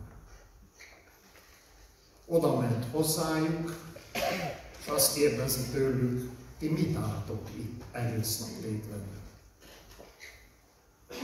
És ezek azt válaszolják, minket nem fogadott meg senki. Drága testvérem, Fordítsam le magyar nyelvre ezt a mondatot. Így hangzik, és soha nem kellettem senkinek. Eltelt az idő, volt is apám, meg nem is volt apám. Szerettek is, meg nem is. Volt is férjem, meg nem is volt férjem. Volt társam, és nem is volt társam. Eltelt az élet. Mit állsz tétlenül, kérdezi a szőlő ura. És a válasz ez, minket senki nem fogadott meg. Én valójában igazán nem kellettem senkinek. Drága testvérek, akik ismerik a szolgálatunkat, azok tudják, hogy mindig, amikor akár Magyarországon, akár Szlovákiában, akár Erdélyben, Ukrajnában szolgálunk. Egy hétig szoktunk általában elmenni a párommal, Etelkával, egy-egy gyülekezetbe evangélizálni, és ahol szolgálunk, mindig mielőtt mennék, megkérem a lelkipásztort, hogy engem vigyen be a polgármester hivatalba, ha tud, vigyen be a gimnáziumba, a liceumba órát tartani fiataloknak, vigyen el öreg otthonba, ha van öreg otthon, a gyülekezet területén, és vigyen el elfekvő osztályokra vagy pszichiátriára, és beszéljen meg az orvosokkal, hogy engedjék meg, hogy egy teremben hirdessem az evangéliumot. Tudjátok, hogy miért? Évekkel ezelőtt, amikor Isten elhívott a misszióra és az evangélizálás szolgálatát bízta rám a Kárpát-medencében, akkor volt Dél-Magyarországon egy ilyen kisváros, mint Velényes, és én ott szembesültem először azzal, hogy mit jelent Magyarországon az elfekvő osztály.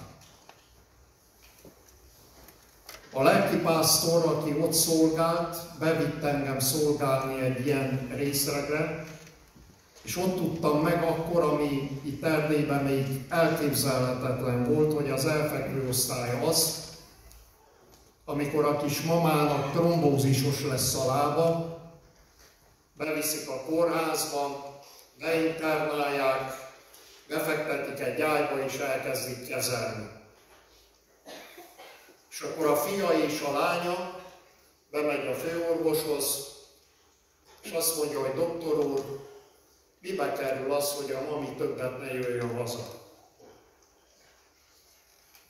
És ott megmondják a világpiaci árat. Megmondják, hogy a maminak mennyi a cekje. És kis idő múlva a kis mamit beviszik egy, egy vagy két ágyas szobába, attól függ, hogy mennyit fizetnek, a lehető legmodernebb fürdőszobával, plazma tévével, hűtőszekrényel, és drága testvérek, elkezdődik a kezelés, megvan minden, asszisztensnők, fásli, vécen, tévé, hírek, csak nincs otthon. És aztán egyszer telefonál, hogy fiam, meggyógyult a trombózis, visszahúzódtak a sebek, mehetek haza. És drága testvérek, akkor derül ki a kis maminak, hogy többet nincs haza. Többet nincs otthon. És ilyen részlegek vannak, elfekvő osztály, betegeknek a sokasága, és drága testvérek, én egy ilyen helyen szolgáltam, és pontosan amikor odaérkeztem közülük, akkor halt meg valaki és hoztak egy bádok koporsót. Még soha nem láttam ilyet. Beletették, nem jött senki el, beletették egy bádok koporsóba. Emlékszek, hogy a bádok koporsó az elfekvő osztály folyósóján úgy szólott, hogy valami félelmetes volt, ahogy húzták a földön, ahogy rakták a fal mellé, szólott az a bádok, és a bádok koporsóba a halottat kitették a szobája elé, az ajtó mellé, a fal mellé oda helyezték. Nem jött a halottas kocsi, hogy elvigye. És én megkaptam a termet a folyosónak a végébe, ahol prédikálhatok, és jöttek a kis öregek. Az egyik tolószéken, a másik két mankóval, egymásba kapaszkodva, tehetetlenül, és ott kellett elmenjenek a halott társuk mellé, és lenéztek, és nézték a vádok koporsóba azt a társukat, akikkel azelőtt még együtt tettek az asztalnál, együtt tévéztek, beszélgettek, ismerték egymást, és drága testvérek, ahogy néztem őket a folyósón jönni, az arcukra rá volt írva, hogy úgy halok meg, mint egy kutya. Nem kellek senkinek. Egyszer én is ide jutok a földre, a fal mellé, a vádok koporsóba. És emlékszek, hogy bejöttek a tolószékkel, bejöttek a botokkal, bejöttek egymást támogatva, és ez volt az ige. És ti mit kerestek itt? Ti mit álltok itt tétlenül? Miért vagytok itt? És a válaszuk az, mert mi nem kellünk már senkinek. Addig, amíg egészséges voltam, amíg fiatal voltam, amíg szép voltam, amíg erős voltam, amíg volt pénzem, amíg volt nyugdíjam, amíg volt mit adni, addig kellett. Testvérek, nem vettétek soha észre, hogy Nabukadnecár, amikor leigázza Jeruzsálemet, kiket viszel Babilonba? Kiket viszel Babilonba?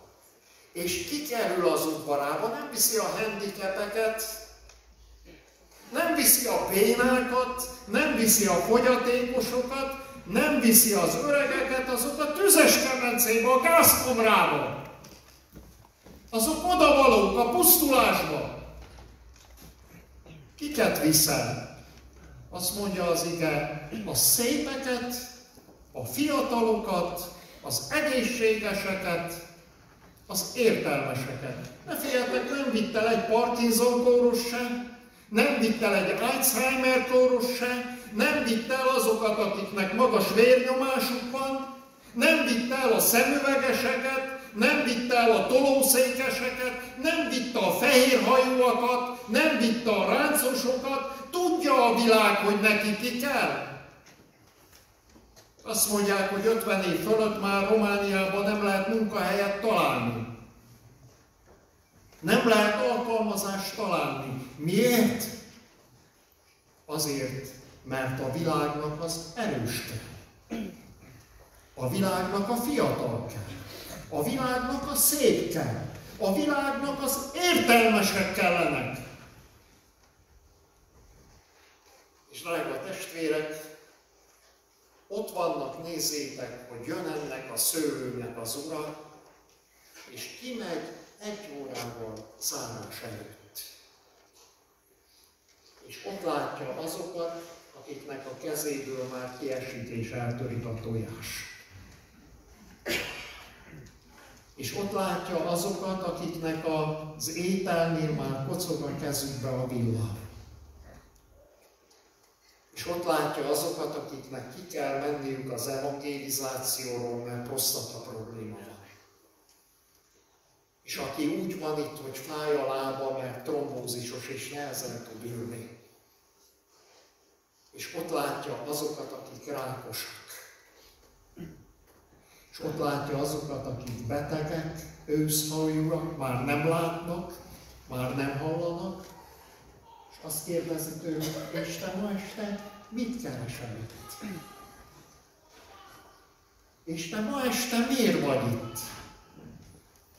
És lehet, hogy neked is az a válaszod ma este, kihasználva, kiszipolyozva, félretéve, megvetve, hogy én nem kellettem soha senkinek.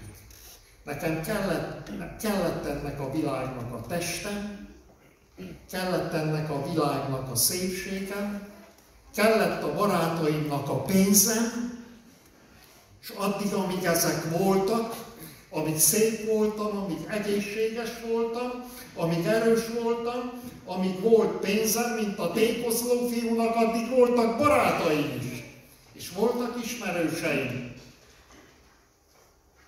De én valójában, én magam, én nem kellettem soha senkinek. Rám nem volt senki kíváncsi, hogy mi a szenvedésem, hogy mi a fájdalmam, hogy mi az örömöm. Van egy ilyen magyar nóta, befele volt minden könnyen, sose ráadtak sírva, az irigyelt szerencsémnek talán ez a titka az irigyelt életednek és az irigyelt szerencsédnek az a titka, hogy te mindig olyan helyen sírsz, ahol senki nem lát. A magányban. Az otthagyottságodban, az elhagyatottságodban. És az van benned, én nem kellettem soha senkinek. És nézzétek meg, hogy jön a szőlőnek az ura, és azt kérdezi, hogy te mit állsz itt tétlenül. Mert nem kellettem. És ő azt mondja, de nekem kell lesz. Nekem kell lesz.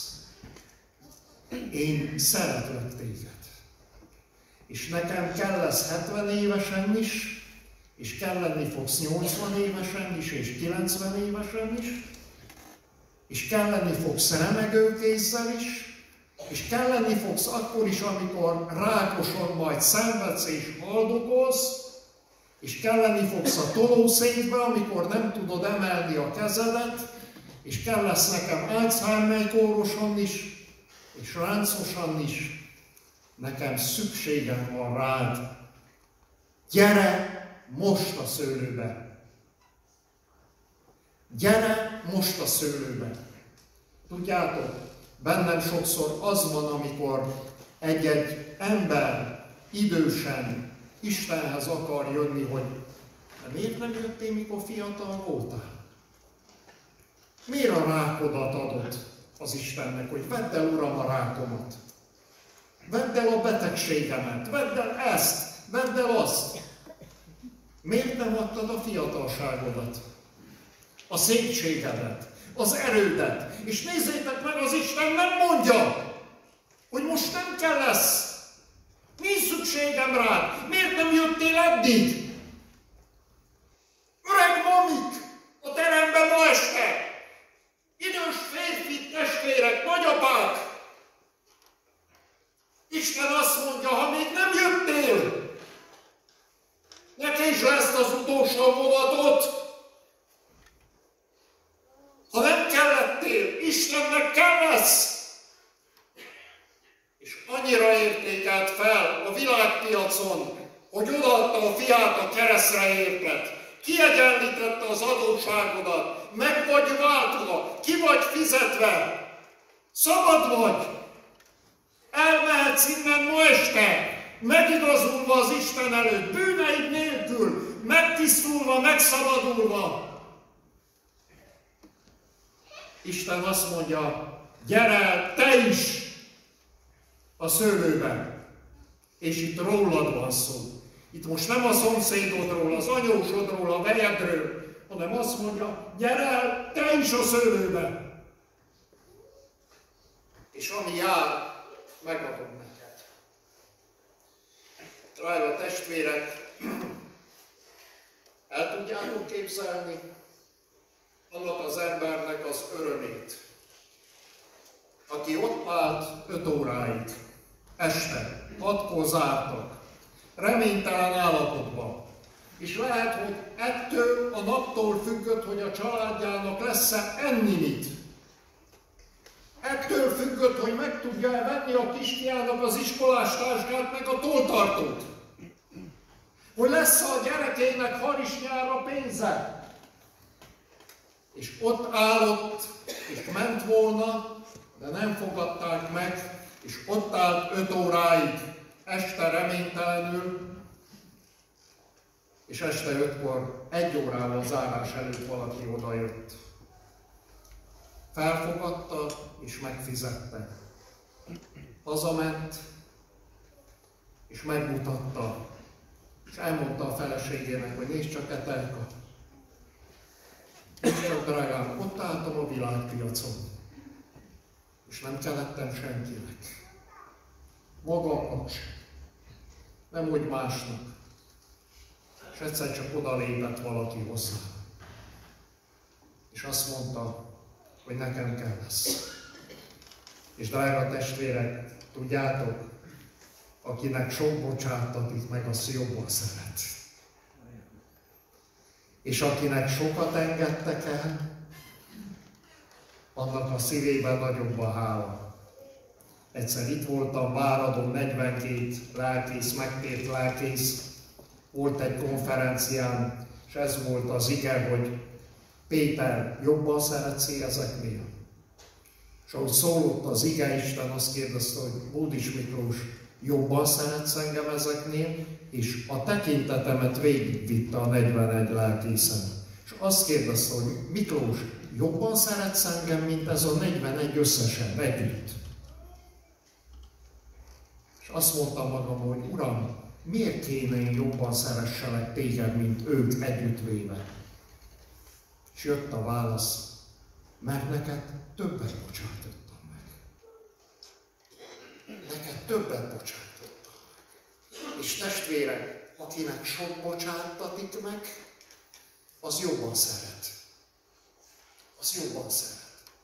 És neked elengedte az Isten a sokat, a tartozásokat. Na ezért kell megtérni az Istenhez. Ezért kell jobban szeresd az Isten, mindenkinél jobban. Mindenkinél jobban.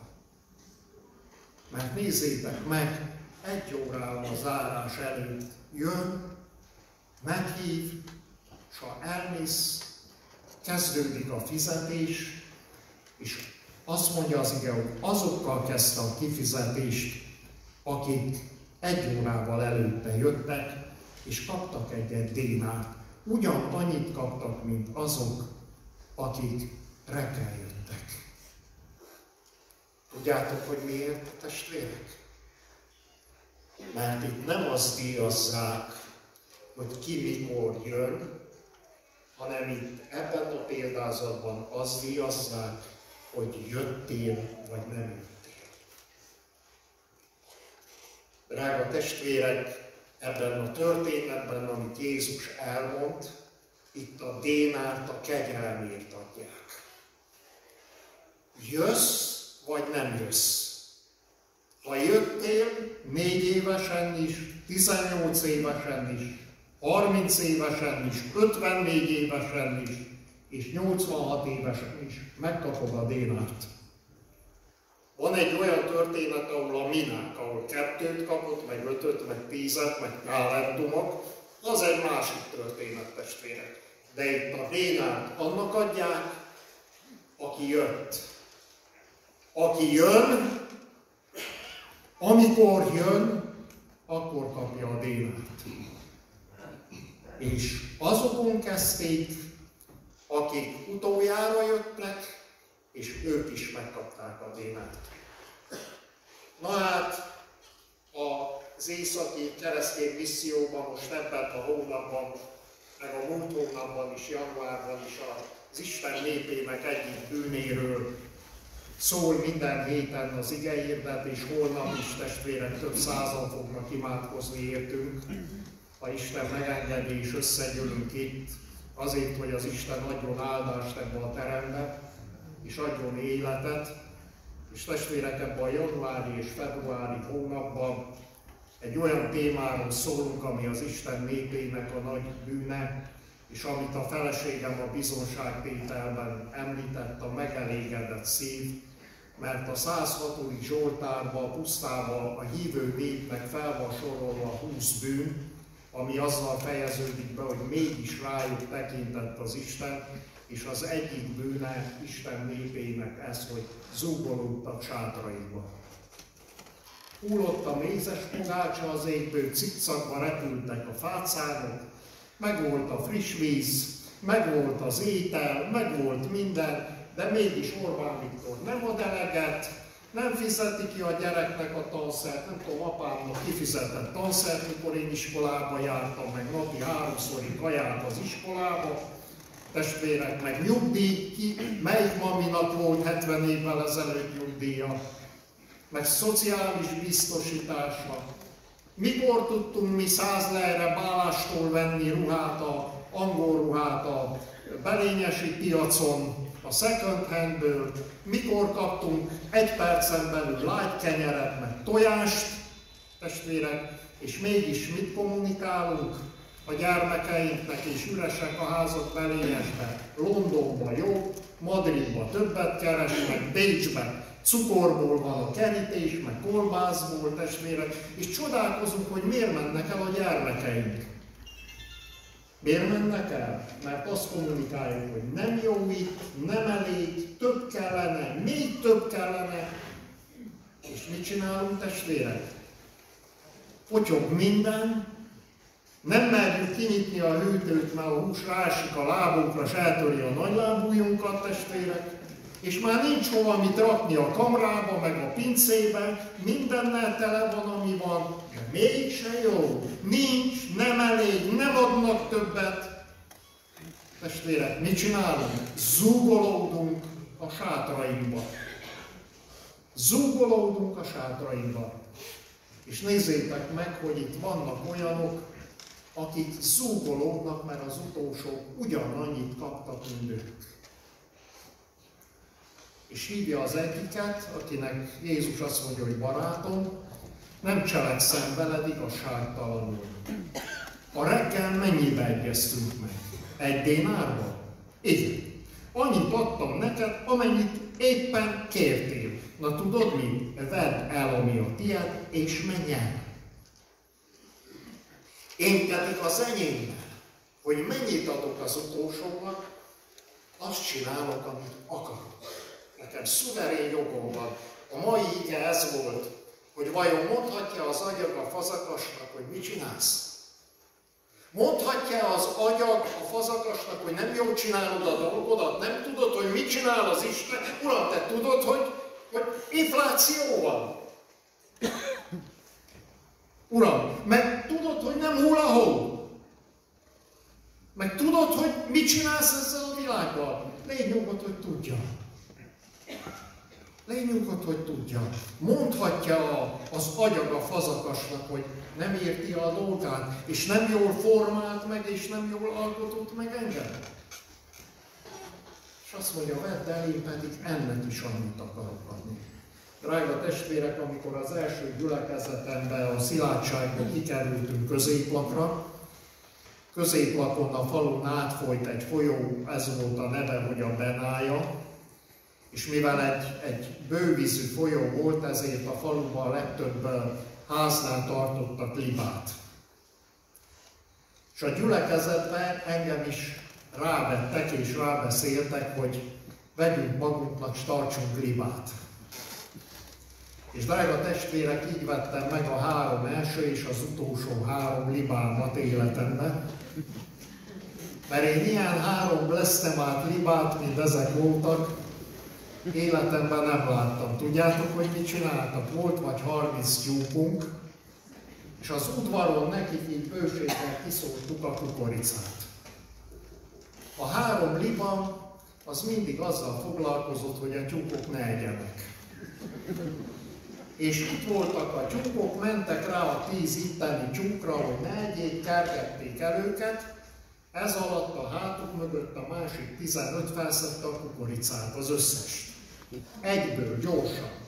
A libák észrevették, hogy hátul baj van, fogy a kukorica, és már nincsen, megfordultak, és sziszegve azokat kezdték el kergetni, ez alatt az idő alatt a hátuk mögött lévő tíz éhes tyúk felszette a, a többi kukoricát a földről.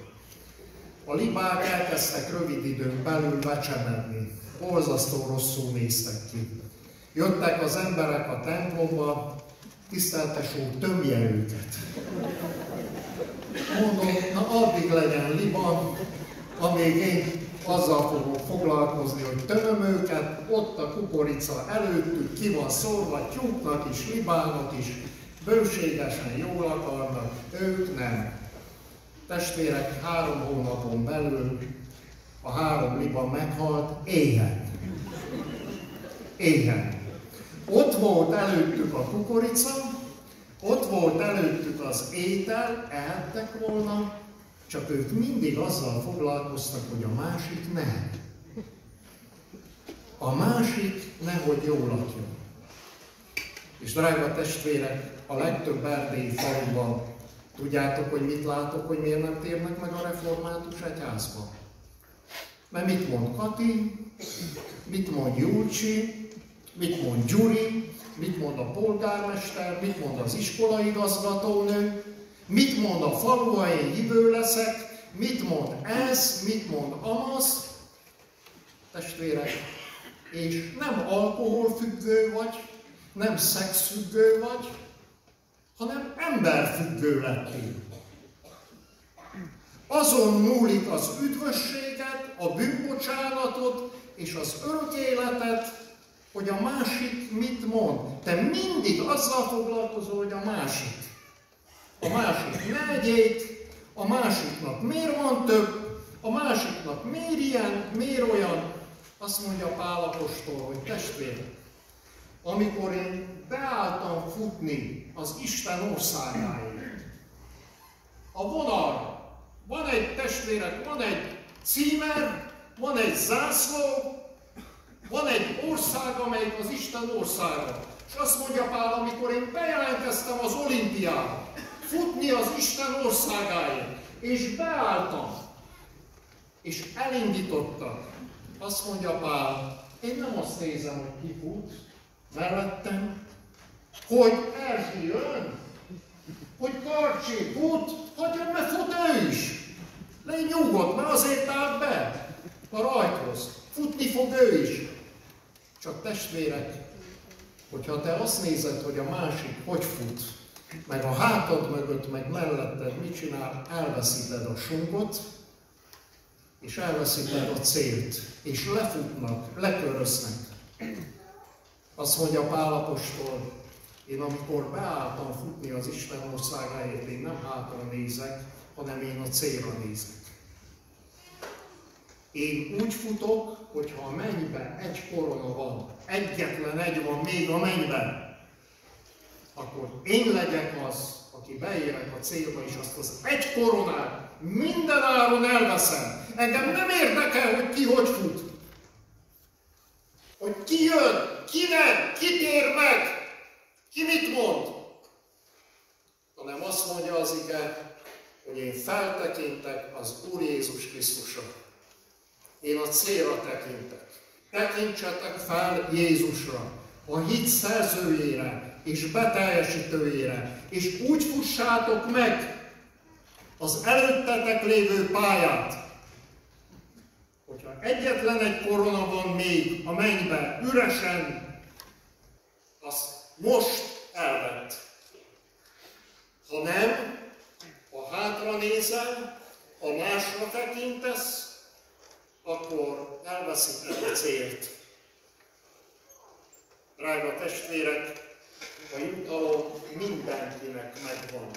Tudjátok, amikor román testvérek között szolgálok a regyezát alatt, egy-egy este kis eldugott román faluba, rengetegen térnek meg, a románok között ébredés van, felmegyünk egy-egy román faluba, 400-600 ezer ember vár, hogy jön a hátszegi református lelkész és hirdeti az evangéliumot, és amikor vége van az evangélizációnak, akkor a, a románok mindig szoktak ilyen egy nagy asztal teríteni, vagy helybéli virslivel, vagy melegkaláccsal, vagy koába szidiseli danonnal, kikevert bivaj, tájjal és az egész gyülekezettel együtt ott vagyunk, és, és lágy, meleg kalácsra lesszük a danont a faluból, és akkor mindig az első utam, ami előtt eljönni, a legelső dolog az, hogy bemenjek a konyhára.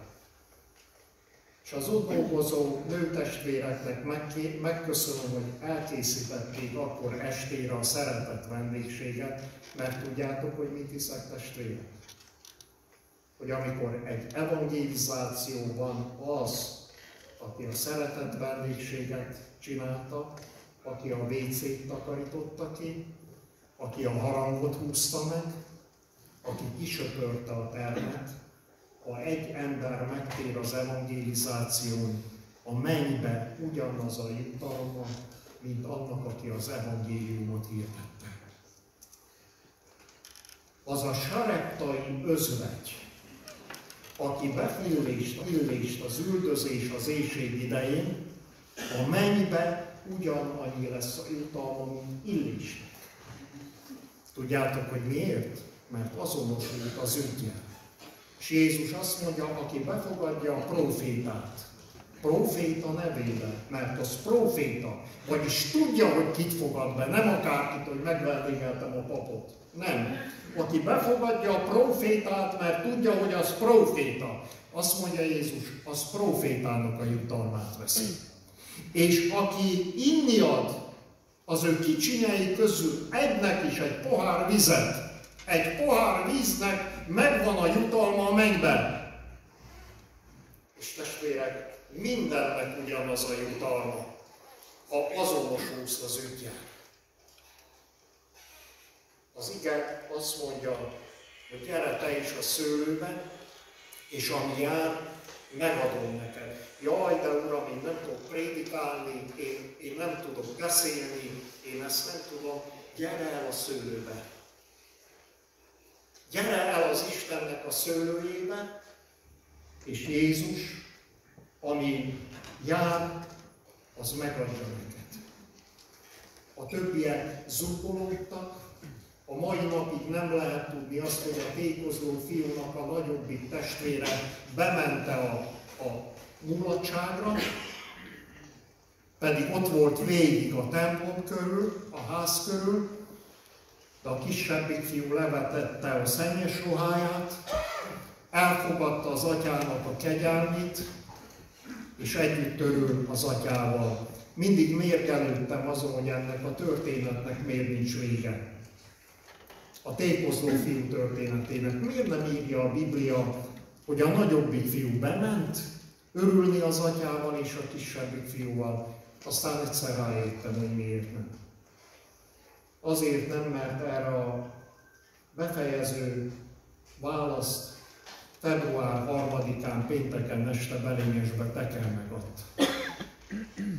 Ez rólad szól, hogy te bejössz az atyai házba ma este. Te elfogadod-e Jézusnak ma este a hívását, gyere el te is a szőlőbe. És testvérek, újra szeretném megismer, megismételni, amikor ő visszajön és megjelenik, ahogy március 14-ről 15-re a koronavírus járvány idején bezárult és lezárult minden, aki bújt, bújt, aki nem, nem, én megyek. Aki készen lesz akkor, amikor ő visszajön, az készen lesz. Az vele megy. Aki pedig nem lesz készen, mert ma este is hallottad. Ma este is hívott téged az Isten, két héttel ezelőtt is hívott az Isten, és az Isten adott neked profétákat, adott neked ige adott neked evangélizációs estéket, amikor szólított és azt mondja, hogy gyere. Jöttél, átadtad magadat neki, megtértél. A ma este még úgy vagy elveszve, hogy azt mondod, hogy én ezt még nem éltem át. Én ezt még nem tudom. Én ma este bizonságot szeretnék tenni előtted, és egyszerűen el akarom mondani, hogy én egy olyan református lelkész vagyok, hátszegem most, aki 24 évvel ezelőtt, 30 éves koromban megtértem az Istenhez 6 éve szolgáló lelkészként, és megértettük azon a héten a feleségemmel együtt. Lehetsz akárki, akármilyen felekezetű, születhetsz akárkinek és akárminek, ha meg nem térsz, ha újjá nem születsz, az Isten országába nem mehetsz be. És ez minden egyes evangélizáció. Azért van. Minden egyes evangélizáción azért alszik Istennek a hívása, hogy te, aki még nem döntöttél, te gyere. Most.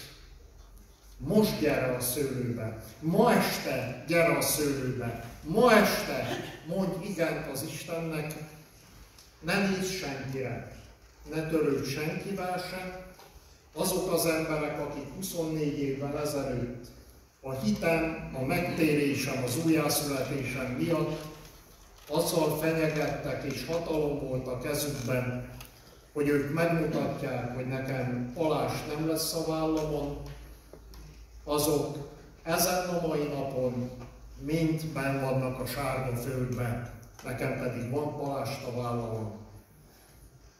Mert a jövő és az élet nem emberektől függ. Nem hatalmasságoktól függ, hanem a mindenható Istentől függ. Kinek akarsz tetszeni? Kire akarsz hallgatni? Az élő Istenre, a világnak az urára, vagy emberekre nézel? Hogy a másik jön, fut, mit hisz és mit gondol. Arra kérlek téged, Krisztus nevében, hogy ma este ne nézz senkire, Drága áron váltottál meg. A világpiacon értékes vagy előtte, és az Isten azt mondja, hogy nekem kell lesz. Én szeretlek téged. Nekem szükségem van rá. Gyere hozzám! gyere hozzám, és én megadom számodra azt, amit ez a világ egész életedben nem adott meg. És amit ez a világ nem tud megadni, az én békességemet adom néktek. Nem úgy adom, ahogy ez a világ adja. Ezért ne lettegjen a te szíved, ne is féljen, hanem légy készen fogadni őt és visszavárni őt. Drága testvérek, én arra kérlek, hogy ma este engedjétek magatokat vezettetni az imádságban. Álljunk fel, gyertek!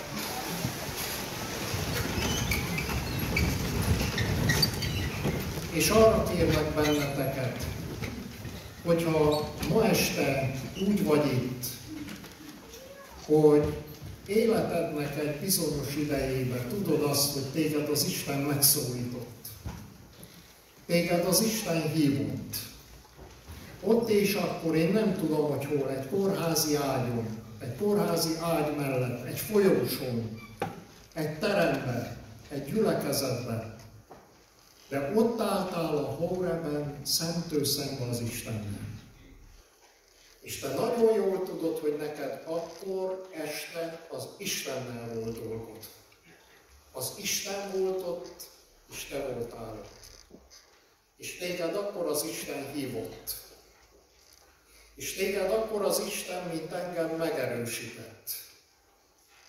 És hogyha akkor kimondtad azt, hogy Uram, én megyek a szőlőbe, én követlek téged, akkor most csendben, elcsendesedve magadban köszönd meg azt a pillanatot, amikor az Isten ott állott és hívott téged.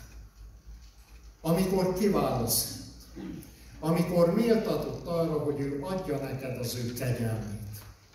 És te igent mondhattál neki, te ott álltál a Hóreben előtte, és te elfogadhattad ezt a kegyelmet. Csendesedjünk el, és akinek az életében ez megtörtént, az most mondja el azt, hogy köszönöm neked, Uram. Köszönöm azt az órát, azt a pillanatot.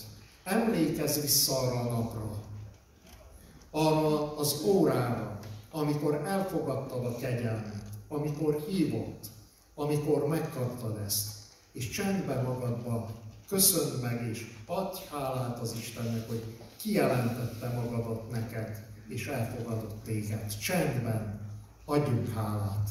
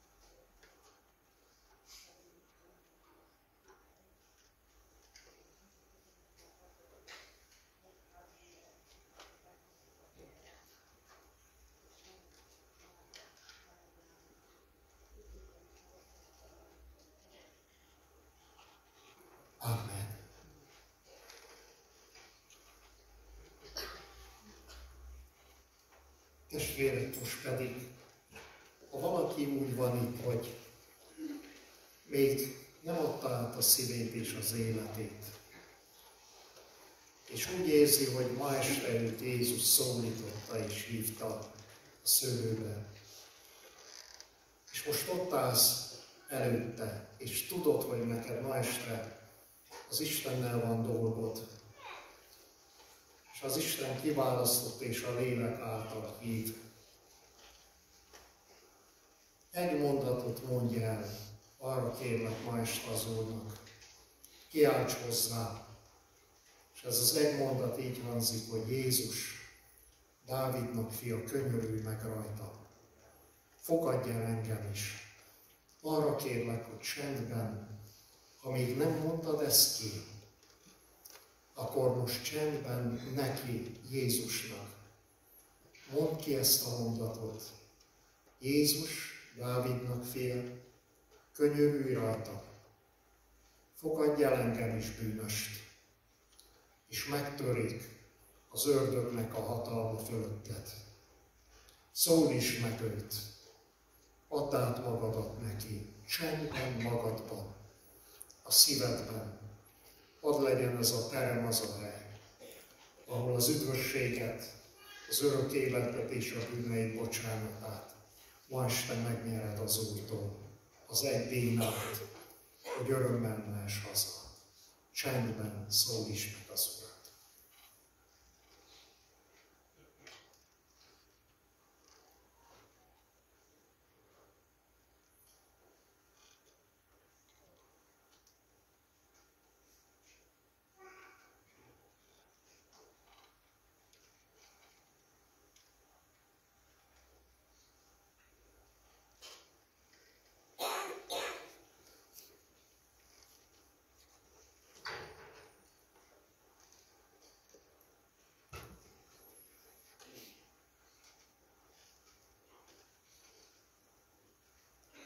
Urunk, ahogy a az ő urának kezére, és ahogy a szolgáló lány az ő úrnőjének a kezére, úgy tekintünk ma este rád, Urunk.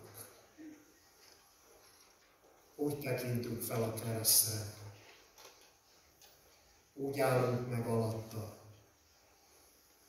És Uram, magasztalunk téged a drága árért, a bárány véréért, a megtöretett áldozatért, amelyel, Uram, az árunkat megfizetted, kifizetted, és Uram, drága gyöngyökként kezelsz bennünket valódi értékekként, amiért neked érdemes volt mindent elhagyni és mindent odaadni.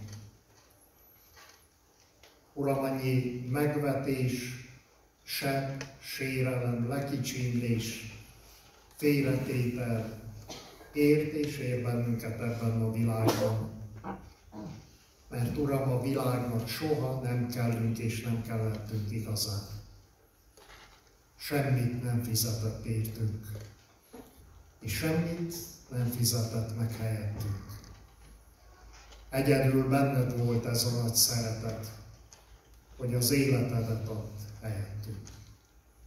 Köszönjük, Urunk, ma este, hogy újra felragyogott számunkra a kegyelem, és hogy újra a markunkba szorítva a dénát, boldogan, megelégedetten és hálából mehetünk haza erről a helyről, ebből a teremből, hogy meg vagyunk váltva, hogy üdvösségünk van.